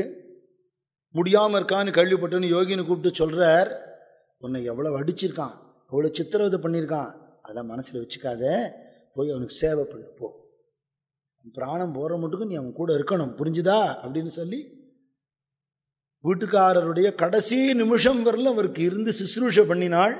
பண்ணின தப்புக்கெல்லாம் மனசு வருந்தி குருமகராஜோட கருணையால் இந்த உடம்பை விட்டு நல்ல கதியை அடைஞ்சானவன் எவ்வளவு பாபாத்மாவாக இருந்தாலும் மகான்கள் சங்கம் கிடைச்சுடுத்துனா போரும் இல்லையா? தன்னுடைய கிரகத்துக்கு ஒரு சமயம் வர சொன்னால் அவசியமாக வரேன்னு சொன்னார். அப்படி வீட்டுக்கு வந்தார். இப்போ நான் பாடின பாட்டே பிரம்மானந்தரோட பாட்டு. என் வீட்டுக்கு குருநாதர் வந்திருக்காரேன்னு தான் சொல்கிறார் आज சக்கி மேரே சத்குரு கராயே என் வீட்டுக்கு வந்திருக்கார். அதனால என்ன ஆச்சுன்னா வாழர் தெய்வம் வீட்டுக்கு வந்தால் என்ன ஆனந்தம் சொல்ல முடியுமா? இல்லையா? மேரே மனுமே ஆனந்த பயூரே அப்படி வீட்டுக்கு வந்து அவ கொடுத்த நிவேதனத்தெல்லாம் ஏத்துண்டு ரொம்ப நேரம் சத்சங்கம் பண்ணினார் அங்கேயே. எந்த வீட்டுக்கு மகான்கள் வரலையோ அந்த வீடு பாம்பு புத்துங்கிற பாகவதத்தில். அது பிரயோஜனமே இல்லைங்கிறா. ஒரு வீடுன்னு இருந்தால் அந்த வீட்டில் தெய்வ வழிபாடு நடக்கணும் நாம சங்கீர்த்தனம் நடக்கணும். அந்த வீட்டுக்கு மகான்கள் ஞானிகள் வரணும் அதான் பாதம் படணும் அந்த இடத்துல. அப்போ நாளைக்கு கோலாப்மா பற்றி சொல்ல போகிறோம் இல்லையா? அவள் பக்கத்து வீட்டில் தான் இருந்தா. இவாளால் தான் அவளு குருமா குருமராஜிட்ட வந்தா. அந்த இவா ரெண்டு பேரும் சேர்ந்தே தான் இருப்பாள் அந்த அம்மா சொல்றா குருமராஜிட்ட அவ ஜெபம் பண்ற அறை இருக்கு அவ சொல்றதுக்கு வெக்கப்படுறா உங்க பாதம் அங்க படணுமா? ஸ்ரீதர் சுவாமின்னு ஒரு மகான் இருந்தார். சமர்த்த ராமதாஸ் சுவாமியோட பரம பக்தர். அவர் சித்தியானத்துக்கு அப்புறம் இது ஒரு முக்கியமான பாயிண்ட் நம்ம குருன்னு யார் எடுத்துக்கிறோமோ ஒரு ஸ்தூலமாக இருக்கணும்னு கொஞ்சம் கூட அவசியம் இல்லை. நான் ஸ்தூலமாக இருக்கிற போதும் சரீர பிரஜை இல்லாதவர்கள் மகான்கள் சரீரத்தை விட்ட பிறகும் பிரத்யக்ஷமாக இருக்கக்கூடியவர்கள். சித்தியான ராமதாஸ் சுவாமியை குருவாக எடுத்துட்டு அவர் சரித்திரம் படித்து சஜ்ஜன்கட்டியே போய் இருந்து நாம ஜபம் பண்ணி அங்கே வரக்கூடிய அடியவர்கள் எல்லாம் தன்னோட குருநாதரோட வடிவமாகவே நினச்சி சேவை பண்ணி ராமதாஸ் சுவாமி பிரத்யமாக தரிசனம் கொடுத்து உபதேசம் பண்ணினார். ஷிமோகா கிட்ட அவருடைய சமாதி இருக்கு வரதகள்ளிங்கிற அந்த இடத்துல அந்த ஸ்ரீதர சுவாமிகள் ஒரு சமயம் ஒரு ஊருக்கு போயிருந்தார். ஒரு ஏழை வந்து அவரை நமஸ்காரம் பண்ணி என் குடிசைக்கு நீங்கள் எழுந்தருளணும்னு கேட்டானாம். எதுக்குப்பா? அப்படின்னு சிரிச்சுட்டே கேட்குறார். மகான்கள் வீட்டுக்கு வந்து ஐஸ்வர்யம் வரும்னு சொல்கிறா அப்படியா? நீ நம்புறியா அதெல்லாம்? நான் நம்புகிறேன் ஒன்று பண்ணு. உன் வீட்டில் நிறைய மண் அடித்து ரொப்பி வெய்யி நான் நடந்துட்டு போகிறேன் உனக்கு நிறைய தங்க காசு கிடைக்கும். அப்படின்னு கிண்டல் பண்ணியிருக்கார். மகான் எது சொன்னாலும் பண்ணணும்னு இவனும் பண்ணிட்டான். அவர் வீடு பூரா குழந்த மாதிரி கிடுக்கிடுக்குன்னு ஓடி ஓடி எல்லா இடத்துலையும் காலை பதிச்சப்பா. நான் வீடு பூரா கால் பதிச்சுட்டேன். உனக்கு நிறைய தங்க காசு கிடைக்கும் போ அப்படின்னு போயிட்டார். இந்த மண்ணை எடுத்து போடுறது நிஜமாவே தங்க காசு இருந்ததான் எல்லாத்துக்கு அடியிலையும். ஞானிகள் என்ன வேணாலும் பண்ணுவா இல்லையா? இவ சொல்றா நீங்க வந்து உங்க பாதம் பதிக்கணும். பாதம் பதிச்சுட்டா அங்க ஜபம் பண்ணா தியானம் பண்ணினா மனசு ஒருநிலைப்படும். அந்த அறையில ஒருவேளை யாருக்கா பிராணன் பிரிய நேர்ந்தால் அந்த பூமி காசிக்கு சமமாயிடும். ஞானிகளோட திருமேனிய சகல க்ஷேத்திரம் தானே? அதெல்லாம் பண்ணினார். வந்து அனுகிரகம் பண்ணினார். ரொம்ப கருணையோட. இந்த அம்மா இவ்வளவு பக்தியாக இருக்காங்கிறது அவ சகோதரருக்கு பிடிக்கல. அவர் என்ன பண்ணினார்? இந்த காளிக்கு ஒரு பூஜாரி பெரிய மகான்னு சொல்லி எல்லாரும் கொண்டாடின்னு இருக்கா? என் தங்கைக்கு அறிவு கிடையாது கொஞ்சம் கூட. வீட்டுக்காரன் காலமாயிட்டான் வாழ்க்கை பூரா கட்டம் இனிமேல் ஏதோ வாழறதுக்கு வழியை பார்ப்பாள? சாமியார் பின்னாடி சுற்றின்னு இருக்காவ நாளை இந்த ஆளை மிரட்டுறதுக்கு ஏதாவது பண்ணணும்னு சொல்லி ஒரு மல்யுத்த வீரன் மன்மத்தன் பேர். அவனை ஏற்பாடு பண்ணி சும்மா அப்படி வந்து நெல் பையன் இருக்கட்டும் இந்த சாமியாருக்கு. எத்தனை பேரெல்லாம் இப்படி இல்லாமல் அவன் குழப்பின்னு இருக்காடோ தெரியல அப்படின்னு. அவனும் வந்துட்டான். நல்ல கரண கரணையாக உடம்பு எடுத்துட்டு வரான். மகான்கள் எல்லாருக்கும் அபயம் தர அவளுக்கு ஏது பயம்? அவனை பார்த்து சிரிக்கிறார். அவ்வளோதான் க்ளீன் போல்டு ஒரே சிரிப்புலேயே முடிஞ்சு போச்சு கதை. அப்புறம் அவன்கிட்ட என்ன ஏதுன்னு ரெண்டு வார்த்தை பேசுகிறார் மிரட்டணும்னு வந்தவன் தடால்னு நமஸ்காரம் பண்ணான். ஜென்மாவில் நிறைய தப்பு காரியங்கள் பண்ணிவிட்டேன் என்னை காப்பாற்றணும்னு கேட்டான். இவனை போய் அனுப்பிச்சோமே நினச்சிட்டார் அந்த ஆள். தட்சிணேஸ்வரத்துக்கு வான்னு சொன்னார்.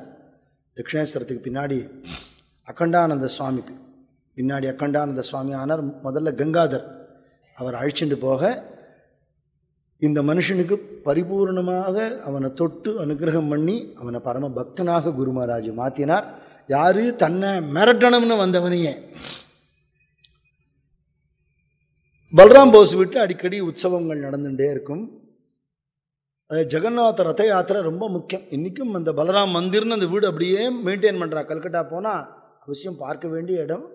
அல்லது அந்த தாழ்வாரத்தில் ஒரு சின்ன ரத்தத்தை வச்சுட்டு ஜெகநாதருக்கு ரத யாத்திரை நடக்கிற அன்னைக்கு ரத யாத்திரை பண்ணுவா.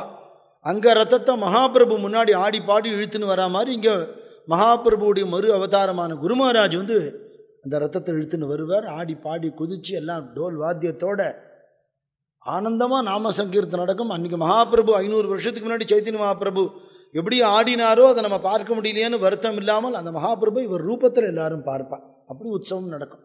அதுக்கு இவள் எல்லாருமே போயிருந்தா அது உற்சவம் எல்லாம் முடிஞ்சு மறுநாள் அந்த பகவான் வலம் வந்த அந்த தாழ்வாரத்தில் நடந்துட்டு இருக்கார்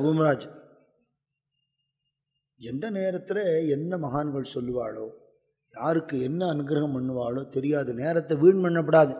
ஞானிகளோட அண்மை கிடைக்கிற போது ஒரு க்ஷணம் விடாமல் அனுபவிச்சிடணும். இல்லையா? அதுக்கப்புறம் திருமேனி மறைஞ்சதுக்கப்புறம் அந்த கிருப்பை கிடைக்கலையேன்னு வருத்தப்பட பிரயோஜனம் இல்லை ஞானிகளை பார்க்குற வாய்ப்பு கிடைக்கிறத நேரத்தை வீணாக்காமல் இருக்கணும்னு இந்த அம்மாவுக்கு ஒரு எண்ணம். அதனால் அவர் அப்படி போகிறத அவர் பின்னாடியே போகிறா ஏதாவது ஒரு வாயிலேருந்து ஒரு வார்த்தை சொல்ல மாட்டாரா? ஏதாவது ஒரு அற்புதம் நடக்காதா? அப்படின்னு போயின்னு இருக்கிறத சட்டுன்னு திரும்பி பார்த்தார். அவர் பாவத்தில் இருக்கிறா நம்ம யோகின் தான் அவருக்கு தெரியல. அம்மா ஆனந்தமயி அம்மா அம்மா அப்படின்னாரு. நமஸ்காரம் பண்ண ஆரம்பிச்சுட்டார். பயந்து விட்டார் இவ திருப்பி நமஸ்காரம் பண்ணுறா அவருக்கு பேதம் தெரியல. அதுக்கப்புறம் எங்கூட நீ ஏன் வரமாட்டியா? வரப்படாதா? எங்கூட வாயேன் அப்படின்னு ஏதோ கூப்பிடுறார். தலையை மட்டும் ஆட்டுறா. அவ தன் யோகினின்னு புரிஞ்சுக்கல. அம்பாள் நினச்சின்னு இருக்கா அப்படின்றது தெரியல அவளுக்கு. அவர் இப்படி கிளம்பி படகு இருக்கிற பக்கம் போகிறார் தட்சிணேஸ்வரத்துக்கு கிளம்பிட்டார். உடனே யாரும் கிச்சனில் வேலை செஞ்சுருக்கா அவாட்ட போய் சொல்லி குருமராஜ் கிளம்புறேன் நான் அவரோட போகிறேன் அப்படின்னா. உடனே அவளும் வேலையை நான் அப்படியே போட்டு நானும் வரேன்டின்னா நான் கிளம்பிட்டேன் ஒரு ரெண்டு மூணு பசங்க வந்தால் எல்லாருமே சேர்ந்து படகுல ஏறி போகிறா தட்சிணா எதுக்கு போகிறார் எங்கே போகிறார் அதெல்லாம் கேள்வி கிடையாது.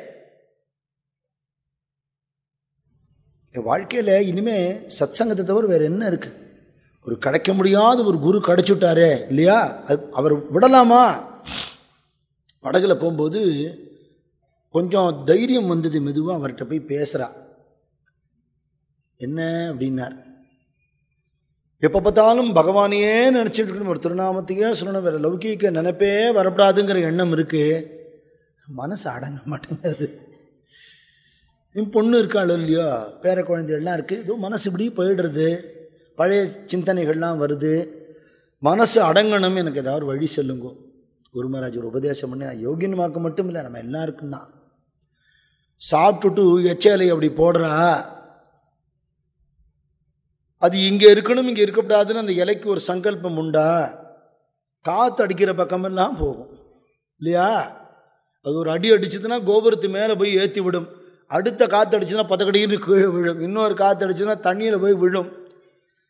எங்கே போனாலும் அந்த காற்று இழுத்து இழுப்புக்கு அந்த இலை போகிறது அதுக்குன்னு ஒரு சங்கல்பம் இல்லை. அப்படி இரு. அப்படி பகவானோட சங்கல்பம் என்னவோ உன்னை எப்படி இழுத்துன்னு போகிறானோ அவன் இட்டபடி நீ இரு உனக்குன்னு ஒரு அபிப்பிராயம் வேண்டாம் சுகதுக்கம் வேண்டாம் அப்படின்னு ஒரு பெரிய ஆசீர்வாதத்தை பண்ணினார். வாஸ்தவத்தை எல்லாருக்குமான உபதேசம் இன்றைக்கி நம்மளை இப்படி வச்சிருக்காரா? இது அவரோட கருணை. இங்கே உட்காந்து ஜம்முன்னு ஏசி ரூமில் அவருடைய மகிமையை அனுபவிச்சுன்னு இருக்கோம் அவரோட கருணை. அவரோட பிரசாதத்தை சாப்பிட்றோம். அவரோட கருணை. உலகத்தில் யார் யாரோ எதுக்கெல்லாமோ திண்டாடின்னு இருக்கிறது நம்மளை அருமையான சுவாமி வச்சுன்னு இருக்கார் அப்படி இந்த கருணையை நினச்சி நினச்சி நினச்சி எது நேர்ந்தாலும் உன் செயல் அப்படின்னு இருந்துட்டா அதுக்கப்புறம் துக்கம் எங்கேருந்து வரும்? அப்படி அவளுக்கு ஆசீர்வாதம் பண்ணினார். இன்னொரு நாள் அவர்கிட்ட கேட்டா எங்களுக்கெல்லாம் நல்ல கதி உண்டா? மனுஷனுக்கு சஞ்சனம் வந்துட்டே இருக்கும். மனசு ஸ்திரமாக இருக்காது. எங்களுக்கு என்ன நேரும்னா ஏன் என்ன வேணும் உனக்கு? என்னை பார்த்துட்ட? எனக்கு ஆகாரம் கொடுத்துருக்க? எனக்கு சேவை பண்ணியிருக்க வேற என்ன பண்ணணும் நீ? குரு சேவைக்கு மேலே சாதனையே கிடையாது. இல்லையா? குரு பரத்தே சாதனை நாய் குருநாதருக்கு சேவை பண்ணுறதை காட்டிலும் இனிமேல் சாதனை பண்ண வேண்டியது ஒன்றுமே இல்லை. நம்ம கொண்டு போய் ஒரு சீப்பு பழத்தை கொடுக்குறோம். ஒரு மகான் கிட்ட என்ன? அந்த பழத்தை எடுத்து ஒரு ஓரமாக வச்சுட்டு நமக்கு முன்னாடி யாரோ கொடுத்துருப்பா. அதுலேருந்து ஒரு பழத்தை எடுத்து நம்ம பிரசாதம் கொடுப்பார். அதே மாதிரி நம்ம கவலைகள்லாம் கொண்டு போய் சமர்ப்பணம் பண்ணினா அவரோட அருளை நமக்கு பிரசாதமாக கொடுப்பார். வேற என்ன பண்ணணும்? சொல்கிறார் உனக்கு கடைசி காலத்தில் இங்கே இருக்கிற ஆயிரம் இதழ் தாமரை சகசிராரம் திறந்துடும். கவலைப்படாத. கடைசியில் என்னை நினச்சிட்டு யாரெல்லாம் பிராணனை விடுறாளோ அவளுக்கு நான் வந்தே ஆகணும். இவ்வளோ ஓப்பன் டிக்ளரேஷன் யாராக கொடுப்பாளோ? சொல்கிறார் அவர். என்னை நினச்சிக்கிறவாளுக்கு நான் கடைசியில் வந்து தான் ஆகணும். குருமராஜ் தன் திருமேனியை விட்டதுக்கு அப்புறமும் ராமகிருஷ்ண பக்தர்கள் ஒத்தொத்தரோட மரண தருவாயிலையும் அவர் வந்து அனுகிரகம் பண்ணியிருக்கார். எந்த மகானை நம்ம ஆசிரிக்கிறோமோ அந்த குருநாதாள் கடைசி நேரத்தில் உடம்பை விடும்போது வந்து தரிசனம் கொடுத்து அந்த ஜீவனை கையை பிடிச்சி கூட்டின்னு போவா. இல்லையா? அந்த நேரத்தில் நான் வந்தாகணும் கவலைப்படாதே. அப்படின்னு சொல்லி அவளுக்கு உத்தரவாதம் கொடுத்தார். பிருந்தாவனை யாத்திரை போகணும்னு கேட்டா கௌரிமா கேட்ட மாதிரியே. இப்போ இவர் சித்தியார்த்துக்கு சில நாட்கள் முன்னாடி கௌரிமாவுக்கு உத்தரவு கொடுத்தார் நேற்றுக்கு நான் சொன்னேன். அதே மாதிரி இவளுக்கும் உத்தரவு கொடுத்தார். அம்மாட்ட கேட்டுண்டு போனார். அம்மா சொன்னால் நீங்கள் சொல்லிட்டேலே அப்புறம் நான் சொல்கிறதுக்கு என்ன இருக்குன்னா? இல்லை இல்லை அவள்கிட்டையும் உத்தரவு வாங்கிக்கோ அப்படின்னு சொல்லி அம்மா தலையில் கை வச்சு ஆசீர்வாதம் பண்ணி அனுகிரகம் பண்ணினா யோகின்மா எப்போவுமே குருமராஜிட்ட அவரோட ரெண்டு திருவடி காட்டுறதுக்காக காத்துட்டு அவளோட பாவம் தெரிஞ்சு அவரும் கட்டில் மடக்கி வச்சுருந்த திருவடி எடுத்து கீழே வைப்பார். உடனே பாதத்தில் தலையை வச்சு நமஸ்காரம் பண்ணிட்டு தான் அவளோட வழக்கம். அப்படி விருந்தாவனத்தில் போய் இருந்தால் அப்புறமா அவளுக்கு தகவல் வந்தது குருமராஜ் தன்னுடைய திருமேனியை விட்டுட்டார்னுட்டு ரொம்ப வேதனைப்பட்டா. குருநாதர் பக்கத்தில் இருக்கும்போது அவர் விட்டுட்டு நம்ம வேற ஒரு சாதனைன்னு வந்துவிட்டோமே நமக்கு இன்னும் இந்த அஜ்ஞானம் போலியே இந்த குழப்பம் போலியே அப்படின்னு வருத்தம். பிருந்தாவனத்துக்கு அப்புறம் யாத்திரைக்கு அம்மா வந்தபோது அம்மாவை கட்டின்னு ஓன்னு எழுதா கடைசியில் நான் உங்கள் பக்கத்தில் இல்லாமல் போயிட்டேனேன்னு யார் யாருக்கு ஆறுதல் சொல்கிறதுன்னு தெரியாமல் ரெண்டு பேரும் சேர்ந்து விக்கி விக்கி விக்கி விக்கி நாள் பூரா அழுதுன்னு இருக்கான் சாப்பாடு செல்ல மாட்டேங்கிறது. உடம்ப கவனிச்சுக்கிறதுக்கு கூட அவளுக்கு முடியாத அளவுக்கு அப்படி ஒரு துக்கம். நாள் கணக்கில் அழறா குருமராஜ் நேரம் வந்தார். என்ன ரெண்டு பேரும் இப்படி அழறேன்னு கேட்டார். நான் எங்கே போயிட்டேன்? ஒரு அறையிலேருந்து இன்னொரு அறைக்கு போயிருக்கேன். அவ்வளோதானே அப்படிங்கிறார். அவருக்கு மரணம் கிடையாதே. மகான்கள் என்றைக்கு வேணாலும் இப்போ கூப்பிட்டாலும் வந்துடுவாளே. ஆனால் எனக்கு மரணம் இல்லைம்மா. ஒரு அறையிலேருந்து இன்னொரு அறைக்கு போயிருக்கேன். நான் எங்கே போயிட்டேன்னு சொன்னார். அப்புறம் தான் ரெண்டு பேருக்கு ஆறுதல் உண்டானது. இது கனவு இல்லாத நேர காட்சி. கனவல் வந்ததில்லை. குருமராஜ் எப்போவுமே நேர தான் காட்சி கொடுப்பார். பக்தாளுக்கு சத்தியமாக இருக்காருங்கிறதுனால நிறைய மகான்களை அவளோட சித்திக்கு அப்புறம் பக்தாள் பார்த்துருக்கா. மகாபரிவாளை பார்த்துருக்கா. ஞானானந்த சுவாமியை பார்த்துருக்கா. சிங்கேரி ஆச்சாரியால் நரசிம்ம பாரதி சுவாமிகள் சதாசிவ பிரம்மேந்திராலேயே சித்தியானதுக்கு அப்புறம் பல நூற்றாண்டுகளுக்கு அப்புறம் பார்த்துருக்கேன் சிறைச்சாலையில் இருந்தபோது சித்தியான விவேகானந்த சுவாமியும் அரவிந்த கோஷ் பார்த்துருக்கார் அப்புறம் தான் அரவிந்த மகரிஷி ஆனார் இல்லையா அதனால் மகான்களுக்கு மரணம் கிடையாதுங்கிறதுக்கு ஏகப்பட்ட சரித்திரங்களில் நிரூபணம் இருக்கு அன்போடு கூப்பிட்டா நிஜமாவே வருவா தரிசனம் கொடுப்பா அனுகிரகம் பண்ணுவா நூற்றுக்கு நூறு சத்தியம் அது அதுக்கப்புறம் அங்கேயே பிருந்தாவனத்தில் இருந்து நிறைய சாதனைகள்லாம் பண்ணினா நிறைய ஜபதபங்கள் தியானங்கள் எப்படின்னா கார்த்தால் ஆரம்பிச்சா ராத்திரி வந்துதா என்ன இருட்டி போச்சா எல்லாரும் கிளம்பி போகிறாளா கோவில் பூட்ட போகிறாளா அது கூட தெரியாத அளவுக்கு சரீர உணர்வே இல்லாத ஒரு தியானம். உடம்ப பூச்சி கடிச்சு புண்ணு வந்தால் கூட தெரியாத ஒரு தியானம். அப்படியெல்லாம் தியானம் பண்ணியிருக்கான். அந்தம்மா அவ்வளவு ஜபம் பண்ணியிருக்கா. ஆழ்ந்த சித்தி அதில் கிடச்சிருக்கு. ஒரு சமயம் தான் இருக்கிற இடத்துலையும் அம்மாவுக்கு குருமராஜுக்கு வரக்கூடிய அந்த சமாதி நிலை அவரோட அருளால் இவளுக்கும் ஏற்பட்டு அஷ்டாங்க யோகத்தில் எட்டாவது நிலை எட்டாவது நிலை. அந்த நிலை அவளுக்கு எட்டு எடுத்து குருமராஜோட கருணையால் வெளிநாடு போயிட்டு திரும்பி வந்த சுவாமிஜி இதை கேள்விப்பட்டார். வெளிநாட்டில் இருந்தபோது அவர் எழுதின கடிதத்தை பற்றி நேற்றுக்கு சொன்னேன். கௌரிமா யோகின்மா கோலாப்மாலா எங்கே இருக்கா? பொம்மநாட்டுகளுடைய முன்னேற்றத்துக்கு வாழம் பாடுபடணும். கிராமம் கிராமமாக ஊர் ஊரா வீடு வீடா போய் சொல்லி எல்லா எல்லாருடைய கல்விக்கும் நல்ல அறிவுக்கும் பாடுபடணும்னு சொன்னார் இல்லையா? சாமிஜி ஊர்லேருந்து வந்த பிறகு யோகியன்மா போய் பார்த்தார். சமாதி நிலை வந்துதாமே உங்களுக்குனார் சிரிச்சுண்டா. அந்த நிலையே மனசு நிரந்தரமாக அதுலேயே இருக்கும். பிராணன் போகிறத சமாதி நிலையில தான் உங்கள் உயிர் பிரியும்னு சொன்னார். யோகின்மா சமாதி ஆகும்போது சுவாமிஜி இல்லை அவர் அதுக்கு முன்னாடி கிளம்பிட்டார். கிட்டத்தட்ட முப்பத்தி ரெண்டு வருஷத்துக்கு அப்புறம் நடக்க போகிறது சுவாமிஜி முன்னாடி சொன்னார். அப்படியே தான் நடந்தது பின்னாடி. மனசு அந்த சமாதி நிலை அனுபவத்திலேருந்து வெளியில் வராதுங்கிறது ஒரு சாதாரண கேஷுவல் டாக்கு ஆனால் அது பெரிய பிளெஸ்ஸிங் அது அது ஒரு அஷூரன்ஸ் கொடுத்துட்டு போயிட்டார் சுவாமிஜி. யோகின்மா சமையல் அவருக்கு ரொம்ப பிடிக்கும். ஏன்னா சுவாமிஜி பிரமாதமாக சமைப்பார். சுவாமிஜி அவருக்கு எல்லா கலையிலையும் வல்லுனர் இல்லையா? சர்வஜ மூர்த்தி தானே சிவபெருமான் தானே. அதனால் அவர் சமையலும் நன்னா பண்ணுவார். அவர் ரசிக்கிற சமையல் யோகின்மாவோட சமையல். அதனால் எனக்கு பிறந்த நாள் ஒரு பாயசம் பண்ணுங்கோ அப்படிம்பார். அப்புறம் இன்றைக்கி உங்கள் வீட்டில் தான் சாப்பிட போகிறேன் எனக்கு கொஞ்சம் காய்கறிகள்லாம் நிறைய சமைச்சு வைங்கோ அப்படிம்பார். அப்புறம் ராஜஸ்தான் ராஜா கேத்ரி சமஸ்தானத்து ராஜா அஜித் சிங் வந்தபோது கூட ராஜாவுடைய லெவலுக்கு எப்பேற்பட்ட விருந்து வைக்கணும். அந்த விருந்தெல்லாம் சாதாரணம். எங்கள் யோகின்மா சமைச்சு நீங்கள் சாப்பிடணும். உங்கள் அரண்மனையில் கூட சமைக்கிறதுக்கு இது மாதிரி ஆள் கிடையாது. அப்படின்னு கூட்டின்னு வந்து சமைச்சு போட சொல்லி சுவாமிஜி ரசிச்சிருக்காருன்னா அப்படி ஒரு சின்சியரான ஒரு சேவை இந்த அம்மாவோடது. ஆயிரத்தி எண்ணூற்றி தொண்ணூற்றி மூணாவது வருஷத்தில் நீலாம்பர் முகர்ஜியோட வீட்டில் பேலூரில் அம்மா ஜெகன்மாதா சாரதா தேவியோடு சேர்ந்து கொண்டு பஞ்சாக்னி தபஸ் பண்ணியிருக்கா யோகின்மா. மாங்காடு காமாட்சி அம்மன் கோயிலுக்கு போனேன்னா தெரியும். சிவபெருமானை அடையிறதுக்காக அம்பாள் நாலு பக்கம் நெருப்பு மூட்டிக்கொண்டு அஞ்சாவதா நடுவில் இருக்கிற நெருப்பில் ஒத்த கால நின்றுண்டு தம்பாள் பண்ணின தபஸ். இவா பண்ணின தபஸ் நாலு பக்கம் நெருப்பு மூட்டிக்கொண்டு அஞ்சாவது நெருப்பாக சூரியன். ஆறடி இடைவெளியில் பெரிய அக்னி குண்டமாக கொழுந்து விட்டு எரியும் பொசிக்கு விடும் உடம்ப. அதில் இருந்து நாள் கணக்கில் அம்மா பண்ணின தபஸுக்கு அம்மா கூட நின்று இவா பண்ணின தபஸ். அப்போ இந்த அம்மாவுடைய தவ வலிமை எப்பேற்பட்ட வலிமை. ஒரு சாதாரண கட்டப்பட்ட ஒரு ஜீவனாக இருந்தவள் தன் எப்படியெல்லாம் ஒரு பேர் யோகினின்னு பேர் வச்சா யோகினியாகவே ஆகிட்டான் நிஜமாவே. அப்படி அம்மாவோட சேர்ந்து தபஸ் பண்ணா பிரயாகையில் போய் இருந்து கல்பவாசம் அப்படின்னு இருக்கிறதுன்னு ஒரு வழக்கம் உண்டு. காசி பிரயாகையிலலாம் போய் இருப்பா. ஒரு குழந்தை கர்ப்பத்தில் இருக்கிற அளவுக்கு அத்தனை நாள் அங்கேயே இருக்கணும். எவ்வளவு கஷ்டம் இருந்தாலும் அதை பொறுத்துக்கணும். சௌரியமில்லாத இடத்துல இருக்கணும். நல்லா ஃபஸ்ட் கிளாஸ் ஏசி ரூம் போட்டுண்டு. ஆ வேளா வேலைக்கு சாப்பாடு ஏற்பாடு பண்ணிண்டு. அது பிரயோஜனம் இல்லை இல்லையா? நல்ல தவ வாழ்க்கையாக வாழ்ந்து அதுக்கப்புறம் நம்ம சசி மகராஜுடைய பூர்வாசிரம தகப்பனார் ஈஸ்வர சந்திர சக்கரவர்த்தி அவர் வந்து யோகினிமாக்கும் சாரதானந்த சுவாமிக்கும் சாக்தத்திர பூர்ணாபிஷேகம்னு ஒரு நிலை இருக்கு. அவள் இனிமேல் அடைய வேண்டியது ஒன்றும் ஒன்றும் இல்லை அவ்வளவு மந்திர ஜபம் பண்ணி அத்தனை சித்தியாகி தேவதா தரிசனம் எல்லாம் ஆகி பூர்ணாபிஷேகம் இங்கே பண்ணிட்டான்னா அதுக்கப்புறம் அவளும் ஆச்சாரிய ஸ்தானத்துக்கு போய்டுறா அடுத்த வாழ்க்கை தீட்சை கொடுக்கலாம். அந்த நிலையில் சாரதானந்த சுவாமிக்கும் யோகின்மாவுக்கும் அவர் பெரிய சாக்தர் அவர் சசிமராஜோட தகப்பனார்.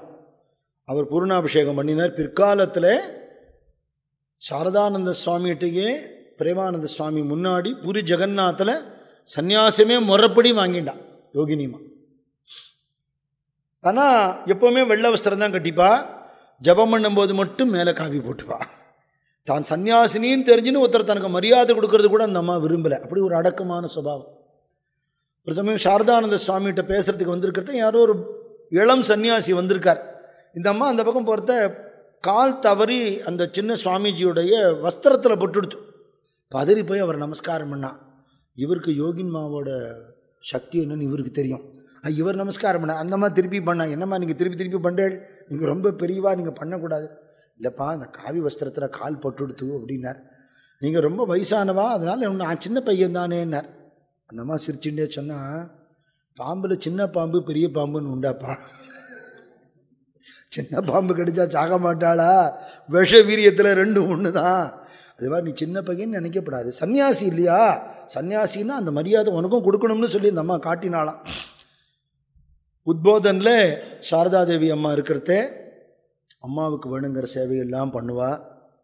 வெடிகாத்தால் எழுந்திருந்து தான் பண்ணுற சாதனைகள்லாம் பண்ணிட்டு ஜபமெல்லாம் முடிச்சுட்டு பிரம்ம முகூர்த்தத்தை எழுந்திருந்து இங்கே வந்து அம்மாவுக்கு வேணுங்கிறதெல்லாம் பண்ணி மகான்கள் எப்போவுமே தனியாக இருக்க மாட்டா. எப்போவுமே நிறைய பக்தாள் வருவாங்கனால எத்தனை பேர் வருவாளோ அதுக்கு ஒரு உத்தேசமாக காய்கறி வாங்கிட்டு வந்து எல்லாம் நறுக்கி கிறுக்கி சமையலுக்கெல்லாம் தயார் பண்ணி அங்கே இருக்கிற பூஜா கிரகத்தில் குரு மகாராஜ் இருக்கார். அவருக்கு பூஜை எல்லாம் பண்ணி அம்மாவுக்கு வேணுங்கிற எல்லா சேவைகளும் பண்ணிவிட்டு கிட்டத்தட்ட இந்த மடத்தை நிர்வாகம் பண்ண வேண்டிய வேலை சாரதானந்த சுவாமிக்கும் இவாளுக்கும் கோலாப்மாவுக்கும் தான் இருந்தது. அதெல்லாம் பண்ணிவிட்டும் அப்புறம் தன்னோட வீட்டுக்கு வந்து தன்னோட வயசான அம்மாவுக்கு இந்த அம்மாவுக்கு இன்னும் வயசான அம்மா இருக்கா? அந்த அம்மாவுக்கு வேணுங்கிற சேவையெல்லாம் பண்ணிவிட்டு அங்கே இருக்கிற குருமராஜுக்கு நைவேத்தியம் பண்ணிவிட்டு அப்புறம் கொஞ்சோண்டு பிரசாதம் எடுத்துண்டு மத்தியான நேரங்களில் சைத்தன்ய சரிதாமிரதம் பாகவதம் ராமாயணம் எல்லாம் வாசிக்கிறது நாம ஜபம் பண்ணுறது சாயந்தரமான திருப்பியும் வந்து அம்மாவுக்கு கைங்கரியம் பண்ணுறது சாயந்தரம் ஆரத்தி பண்ணுறது வரக்கூடிய பக்தாளுடைய தேவைகள்லாம் கவனிக்கிறதுன்னு ஓய்வு ஒழிச்சனே இல்லை. அப்படி ஒரு சேவை அப்படி ஒரு சாதனை அப்படி ஒரு தபசு தன் வாழ்க்கையில் ஒரு கணம் வீணாக்காதபடி அப்படி பண்ணியிருக்கா? தனக்கு கிடைக்கிற சொல்ப வருமானம் அந்த ஜீவனாம்ச பணம் வச்சுருந்தாள் அந்த பணத்தில் சொல்ப வீட்டு செலவு போக அது என்ன இருக்கோ பார்க்குறவாளுக்கெல்லாம் தானம் பண்ணுவான் யார் வந்தாலும் இல்லைன்னு சொல்ல மாட்டான். எல்லா கோவிலுக்கும் கொண்டு போய் கொடுப்பா கருவித்தனமும் இல்லை ஊதாரித்தனமும் இல்லை. அப்படி சிக்கனமாக வச்சுட்டு எல்லா பணத்தையும் தெய்வீக காரியத்துக்கு பயன்படுத்தி எல்லா ஏழைகளுக்கும் தானே ஏழையாக இருந்து கூட ஒரு ஏழைக்கு உபகாரம் பண்ணி இல்லைன்னு சொல்லி யாரையும் விரட்டாமல் அப்படி கருணாமயமாக இருந்து சாரதானந்தர் பின்னாடி குருதேவர் ஸ்ரீ ராமகிருஷ்ணர்னு சொல்லக்கூடிய ஒரு புஸ்தகம் எழுதினார் இல்லையா? ராமகிருஷ்ண கதா பிரசங்கன்னு நினைக்கிறேன் அது பேர் வங்காளத்தில். ஆ? லீலா? லீலா பிரசங்க. கதா பிரசங்கம் வந்து மகேந்திரநாத் குப்தா அது இல்லையா? அது வந்து அந்த புஸ்தகம் எழுதுறதுக்கு விஷய தானம் நிறைய பண்ணினான் ஏன்னா இவா கூடவே இருந்தவா அம்மாவோட ஒரு மகானோட இருபத்தி நாலு மணி நேரமும் யாரும் இருக்க முடியாது. இப்போ எனக்கு ஒரு மகானை தெரியும்னா நான் இருந்தபோது நடந்த சம்பவங்கள் எனக்கு தெரியும். இன்னொருத்தர் யாராவது இருந்தாலும் அவா சில அனுபவங்கள் கிடச்சிருக்கும். அது எல்லாத்தையும் திரட்டி தான் ஒரு சரித்திரம்னு பண்ண முடியும். அதுவும் இதுக்கு முன்னாடி ரிஷிகள் காலத்தில் ஆதிசங்கராச்சாரியார்லேருந்து சைத்தனி மகாபிரபுலேருந்து எத்தனையோ மகாத்மாக்கள் கணக்கில்லாத சாதுக்கள் அவதாரம் பண்ண பூமியில் வேதம் சொல்கிறது சத்தியம் உபனிஷத் சொல்கிறது சத்தியம் ரிஷிகள் அனுபவம் சத்தியம் மகான்கள் சத்தியம்னு காட்டுறதுக்கு இத்தனை பேரும் திரண்ட ஒரு வடிவமாக குருமகராஜ் அவதாரம் பண்ணி அவரை கண்ணால் பார்த்து பழகக்கூடிய பாக்கியம் கிடைச்ச இந்த சன்னியாசி சிஷ்யாள் ஒரு அனுபவம் விட்டு போயிடக்கூடாதுன்னு வயசானவாளெல்லாம் பிடிச்சி திரட்டி திரட்டி திரட்டி திரட்டி அந்த அனுபவங்களை புஸ்தகமாக கொண்டு வந்தா. அதனால தான் இன்றைக்கி நம்ம படிக்கும்போது நம்ம வந்து டாகூர் கூடவே வாழற ஒரு பாக்கியம் நமக்கு கிடைக்கிது. மனசளவில் அப்படி இதுக்கு நிறைய விஷய தானம் பண்ணியிருக்கா. நிவேதிதா தேவி பின்னாடி கிராடல் டேல்ஸ் ஆஃப் ஹிந்துயிசம்னு எழுதின போது அவளுக்கு நிறைய நம்ம புராணங்களை பற்றி ராமாயணத்தை பற்றி மகான்கள் சரித்திரங்களை பற்றி இத்திகாசங்களை பற்றி எல்லாம் அவளுக்கு எடுத்து சொல்லி அந்த புஸ்தகம் வர்றதுக்கும் காரணமாக இருந்திருக்கான் எந்த விதத்திலையாவது யாருக்காவது உதவி செஞ்சுட்டே இருக்கணும் அப்படிங்கிறது அந்த அம்மாவுடைய தன்மையாகவே இருந்திருக்கு. ஒரு சமயம் ஒரு பக்தர் மந்தர் தீட்சை கேட்குறார் அம்மாட்ட சாரதா தேவி அம்மாட்ட. அம்மா அவர்கிட்ட கொஞ்ச நேரம் பேசி பார்க்குறா. ஒரு குருமகாராஜ்கிட்ட நம்பிக்கையே இல்லை. இந்த மாதிரி ஆளுக்கு எப்படி மந்திர தீட்சை கொடுக்கறது? தீட்சைக்கு அடிப்படையாக நம்பிக்கை தானே? நம்பிக்கையே இல்லை. உடனே யோகின் மாவை கூப்பிட்டா யோகின் மந்திர தீட்சை கேட்குறாரு இவர். கொடுங்களேன் எப்படி கொடுக்கறது? குருமராஜ் மேலே அவருக்கு நம்பிக்கையே இல்லை. நம்பிக்கை இல்லாதவளை கொடுக்க முடியுமா? அப்படின்னா நீங்கள் கொடுத்தெல்லாம் அவருக்கு நம்பிக்கை வந்துடுங்கிறாங்க கொடுக்கறது நீங்கள் என்ன? நீங்கள் மந்திரம் கொடுத்தெல்லாம் நம்பிக்கை இல்லாமல் ஜபிக்கட்டுமே. நம்பிக்கை வந்துடும். அதுக்கப்புறம் பரம பக்தர் ஆகிடுவார்னு சொன்னால் அந்த வார்த்தை ஏற்றுன்னு அம்மா தீட்சை கொடுத்தாலாம் வாஸ்தவத்திலையும் அப்படி ஆயிடுது. வாஸ்தவத்திலே நம்பிக்கை இல்லாதவாளுக்கு நம்பிக்கை வந்துடுத்தோம். சத் சங்கத்துக்கு வர்றவாளுக்கு எல்லாருக்கும் பக்தி இருக்குன்னு சொல்ல முடியாது இல்லையா? பிரசாதத்துக்காக சில பேர் வருவா. ஆ வேஷ்டி கொடுக்குறாளாமே அப்படின்னு சில பேர் வருவா. எதுக்கு வந்தாலும் பரவாயில்ல தப்பு கிடையாது. அப்புறம் இந்த அல்பத்துக்கு வந்தது மாறி போய் எது சத்சங்கத்தோட நிஜமான பிரயோஜனமோ அதுக்கு மனசு தானே போயிடும். நாங்கள் வருஷா வருஷம் ஒரு பஜனை உற்சவம் நடத்துகிறோம் இந்த வருஷம் கூட ஆகஸ்ட் ரெண்டு மூணு நாலு நங்கநல்லூர் கணேஷ் மண்டலியில் இருக்குது மூணு நாளைக்கும் ராத்திரியும் பகலும் அப்படி நாம சங்கீர்த்தம் நடக்கும். வரவாளுக்கு எல்லாருக்கும் ஆகாரம் உண்டு. அது ஒரு வருஷம் பண்ணபோது எங்கள் கமிட்டியில் சொன்னால் அண்ணா பஜனை நடக்கிறதுக்கு இப்படி வந்துட்டு இப்படி சாப்பிட போகிறதுக்கு ஒரு வழி இருக்குது அப்படியே போகிறதுக்கு ஒரு வழி இருக்குது நிறைய பேர் அப்படி அப்படியே போய் சாப்பிட்டுட்டு அப்படியே போயிடுறா. ஆனால் அந்த கேட்டை மூடிடுவோம். இல்லை ஏதோ ஒரு பேட்ரி சிஸ்டம் மாதிரி வைக்கலாம். பஜனை கேட்டவாளுக்கு தான் சாப்பாடுன்னு வைக்கலான்னு. அது தப்புயா பக்தி இல்லாமல் அவன் பஜனை கேட்டு என்ன பண்ண போகிறான் பசி இருக்கிறவன்லாம் சாப்பிடலாம். இதில் என்ன இருக்குது இதில் ஒரே ஒரு விஷயம் என்னென்னா அவன் சாப்பிட்றதுக்கு அரை அரை மணி நேரம் அவன் பஜனை கேட்டு ஆகணும். வேறு வழியே கிடையாது. பஜனைக்கு நேரடியாக வந்து உட்காராமல் இருந்துட்டு போகிறான் அந்த சாம்பார் ரசம் மோர் சாப்பிட்டு தானே எழுந்திருந்தாங்கண்ணா அது வரல பஜனை சத்தம் கேட்கும். அந்த நாம அப்படி வேலை செஞ்சால் போகிறோம் இல்லையா? எதுக்காவது நீ வா. சத் சங்கத்துக்கு என்ன காரணத்துக்கு வந்தாலும் அந்த சத்சங்கம் ஒன்று முழுங்கிவிடும். அதான் நிஜம். எப்படி சொக்காமல மகாராஜ் வந்து ஒரு அபங்கத்தில் பாடுறார் கட்டனட்டையாவே சுத்த ஹோவு நிஜாவே தவ்விட்டி பிட்டி பாவே சோக்காமிழா ஜெய் ஜெய் விட்டல ஹரி ஜெய் ஜெய் விட்டல ஹரி ஜெய் ஜெய் விட்டல ஹரி பாண்டுரங்கா. ஜெய் ஜெய் விட்டல ஹரி ஜெய் ஜெய் விட்டல ஹரி ஜெய் ஜெய் விட்டல ஹரி பாண்டுரங்கா. ஜெய் ஜெய் விட்டல ஹரி ஜெய ஜெய் விட்டல ஹரி ஜெய ஜெய் விட்டல ஹரி பாண்டுரங்கா. எவ்வளவு பாப்பியா ஒருத்தன் பண்டரிபுரம் வந்தாலும் திரும்பி போறத பாகவதனா தான் போவாங்கிறார் அப்போ பாண்டவன் பார்த்துப்பான் அந்த வேலையை. நமக்கு என்ன கவலை? அப்படி சத்சங்கத்தை ஏதோ ஒரு விதத்தில் வந்துட்டா அந்த சன்னிவேஷம் அந்த மந்திரம் அந்த குருவோட கருணை நம்மளை எப்படி மாற்றிடும் இந்த மடத்தில் காத்தால பார்த்தேன்னா வாக்கிங் போகிறதுக்கு நிறைய பேர் வரா. ஆ? ஸ்பிரிச்சுவல் அவேக்கனிங்காக வரல. வாக்கிங்காக வரா. அது அரசியல் பேசிண்டு இந்த அரணிஜார் போட்டுண்டு ட்ரக் ஷூ போட்டுண்டு செல்ஃபோனில் ஓன்னு கத்திண்டு இது ஒரு மடங்கிற பிரஜையே இல்லாமல் அவளை கூட இங்கே யாரும் தடுக்கிறது இல்லை நீ எப்படி வேணா வா குரு மகாராஜ பார்வை மேலே பட்டோடு நீ மாறியே தீர்வை ஒரு நாளைக்கு. ஆமாம் இது சத்துக்களுக்கு மட்டும் இல்லையா. இல்லையா? சத்தானுவாளுக்கு மட்டும் சத் சங்கம் இல்லை. அசத்துக்களுக்கும் சத் சங்கம் உண்டு வேற வழி கிடையாது.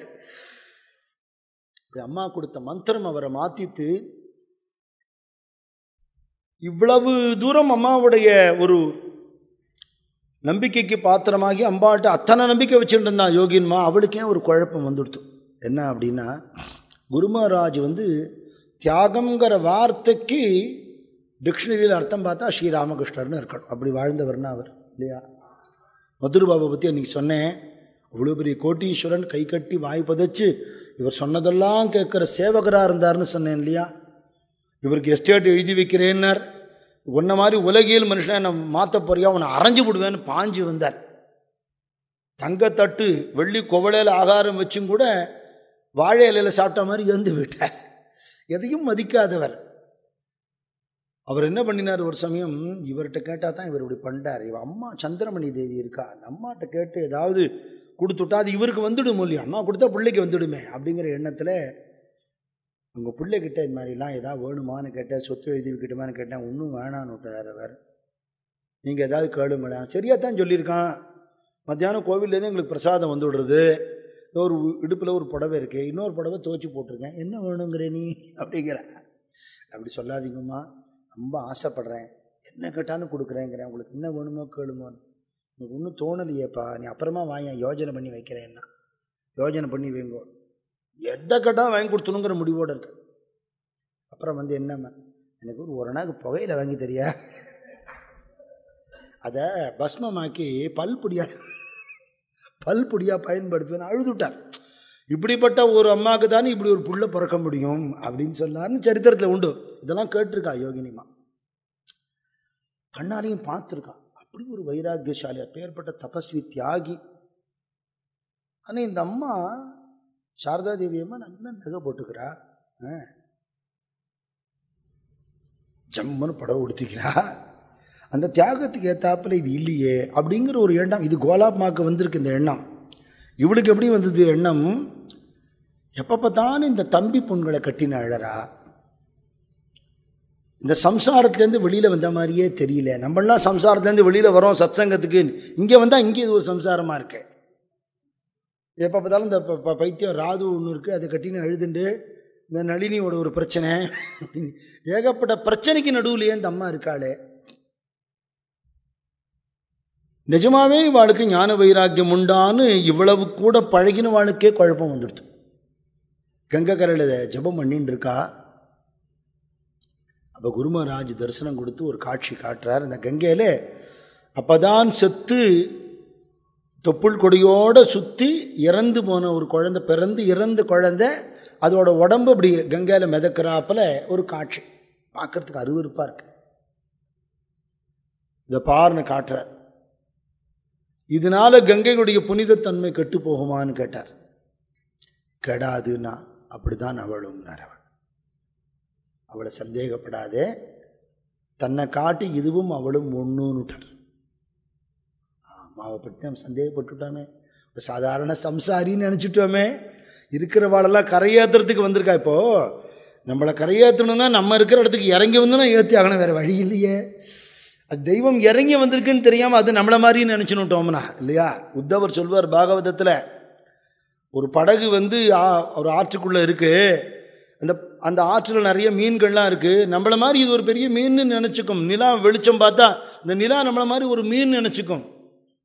ஆனால் இது கரையேற்றுற படகுன்னோ அது ஆகாசத்தில் இருக்கிற நிலான்னும் மீன்களுக்கு தெரியாதே. அது மாதிரி நம்மள மாதிரி பூமியில் நடமாடுறதுனாலேயே அவளை மனுஷான்னு நினச்சா நம்ம தான் ஏமாந்து போயிடுவோம் இல்லையா? இப்படி குருமராஜ் அவளை தெளிய வச்சவொடனே ஓடி வந்து அம்மா காலில் விழுந்து அழுது எல்லாத்தையும் சொல்கிறா நான் அப்படி உங்களை பற்றி நினச்சுட்டேம்மா. தப்பாக நினச்சுட்டேன். அம்மா நகை போட்டுக்கிறாளேன்னு கோலாப்பா நினச்சா அதை நான் நாளைக்கு சொல்ல போகிறேன் அம்மா சம்சாரத்தில் மாட்டின்னு இருக்காளேன்னு இவன் நினச்சா குரு மகாராஜ் அப்படி காட்சி கொடுத்தாருன்னு சொன்ன உடனே அம்மா முதுகில் தட்டி சொன்னா சந்தேகம் வந்தால் தப்பு இல்லை யோகின். வந்தால் தான் தெரியும். சந்தேகம் வந்தால் தானே தெரியும்.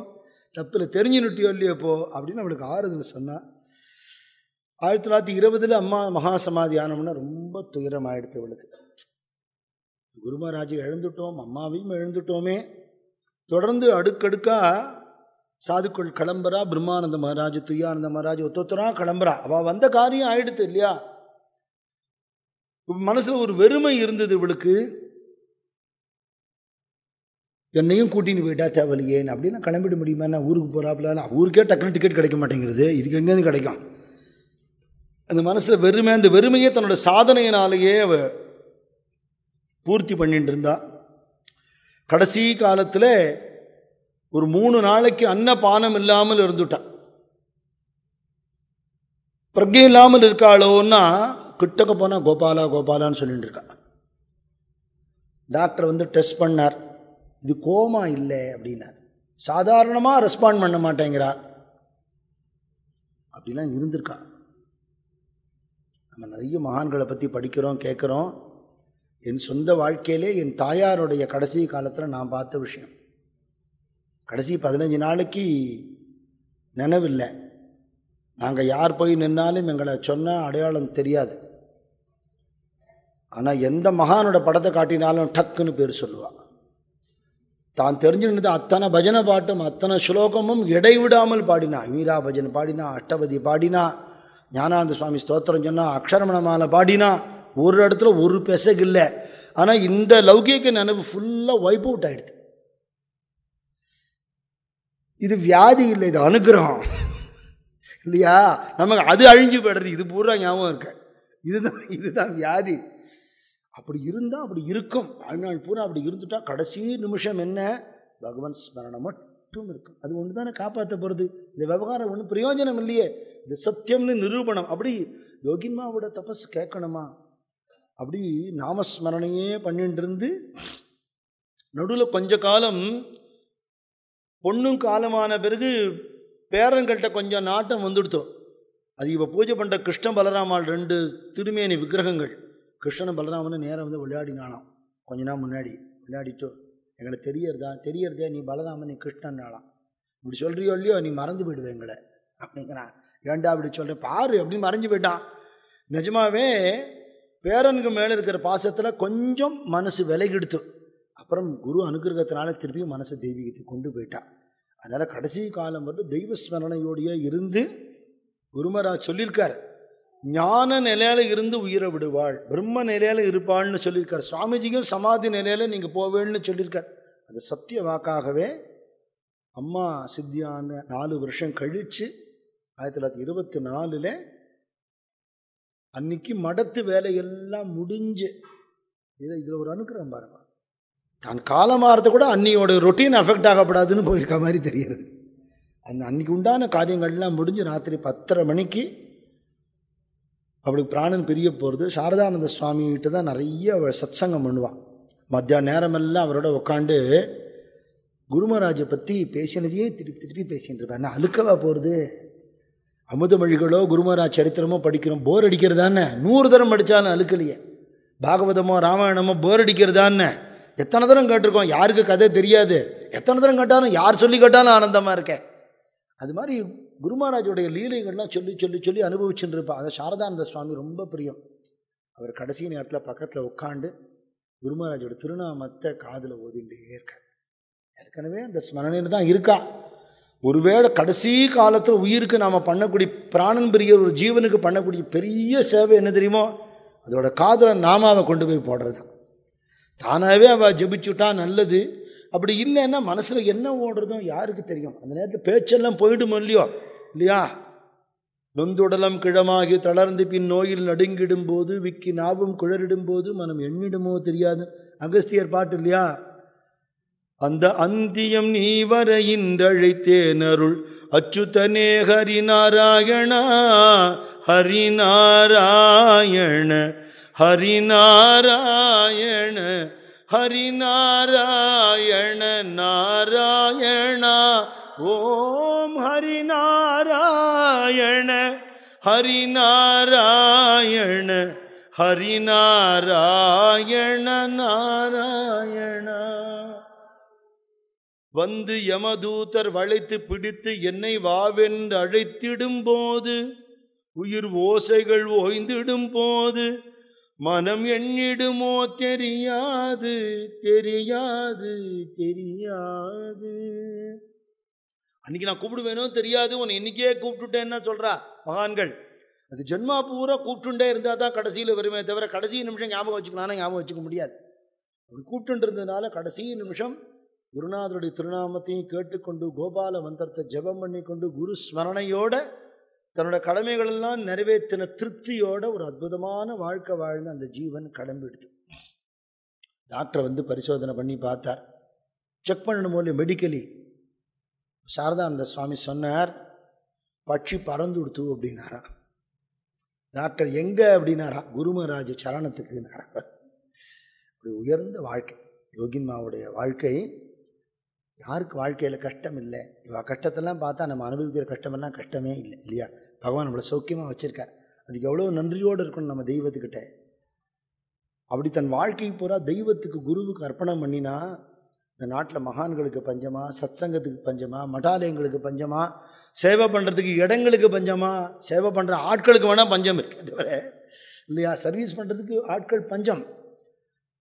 பணம் கூட டொனேஷன் கிடச்சிடும். சேவை பண்ணுற ஆட்கள் ரொம்ப குறைவு எல்லா இடங்கள்லையும். சேவை நிறைய தேவைப்படுறது. தன் வாழ்க்கையை வீணாப்படுத்துங்கிறவா வந்து சேவை பண்ணினாலே போகிறோம் வாழ்க்கையை விட முடியலங்கிறவா நிலைமை வேற. என் வாழ்க்கையில் இனிமேல் ஒன்றும் கிடையாதுப்பா எல்லாம் போயிடுத்து அப்படிங்கிறவா வந்தாலே போகும் ஆனால் அவளும் பரமஹம்சனே சொல்லுவார் ஒரு உறவும் இருக்காது. நிம்மதியாக பகவான் நம்ம சொல்லலாம். ஒரு பூனையை வளர்த்துண்டு திண்டாடுவான் நான் இல்லாமல் அது இருக்கவே இருக்கவே இருக்காது. பால் கொடுக்காமல் இருக்க முடியுமோ? சாதம் படாமல் இருக்க முடியுமான்னு? நீ எதுவும் ஒன்றாவா பிறந்தேள் என்ன உறவு? ஒன்றுமில்லை எதையோ ஒரு வம்பு விவகாரத்தில் மாட்டிண்டு எதுக்காவோ கவலைப்பட்டுண்டு தெய்வத்தை நினைக்கவோ சத்காரியம் பண்ணவோ முடியாத வீணா போகக்கூடிய ஜென்மாவில் தன் வீணா போன ஜென்மாவை பிரயோஜனமான ஜென்மாவை மாற்றி காட்டினான். இல்லையா? சாதாரணமாக வாழ்க்கை தொலைஞ்சு போனவாள் என்ன சொல்லுவாள் வீணா போனவான்னு சொல்லுவாள் வீணா போன வாழ்க்கையே அது. எத்தனை பேர் வாழ்க்கையை நிமிர்த்தின வாழ்க்கை.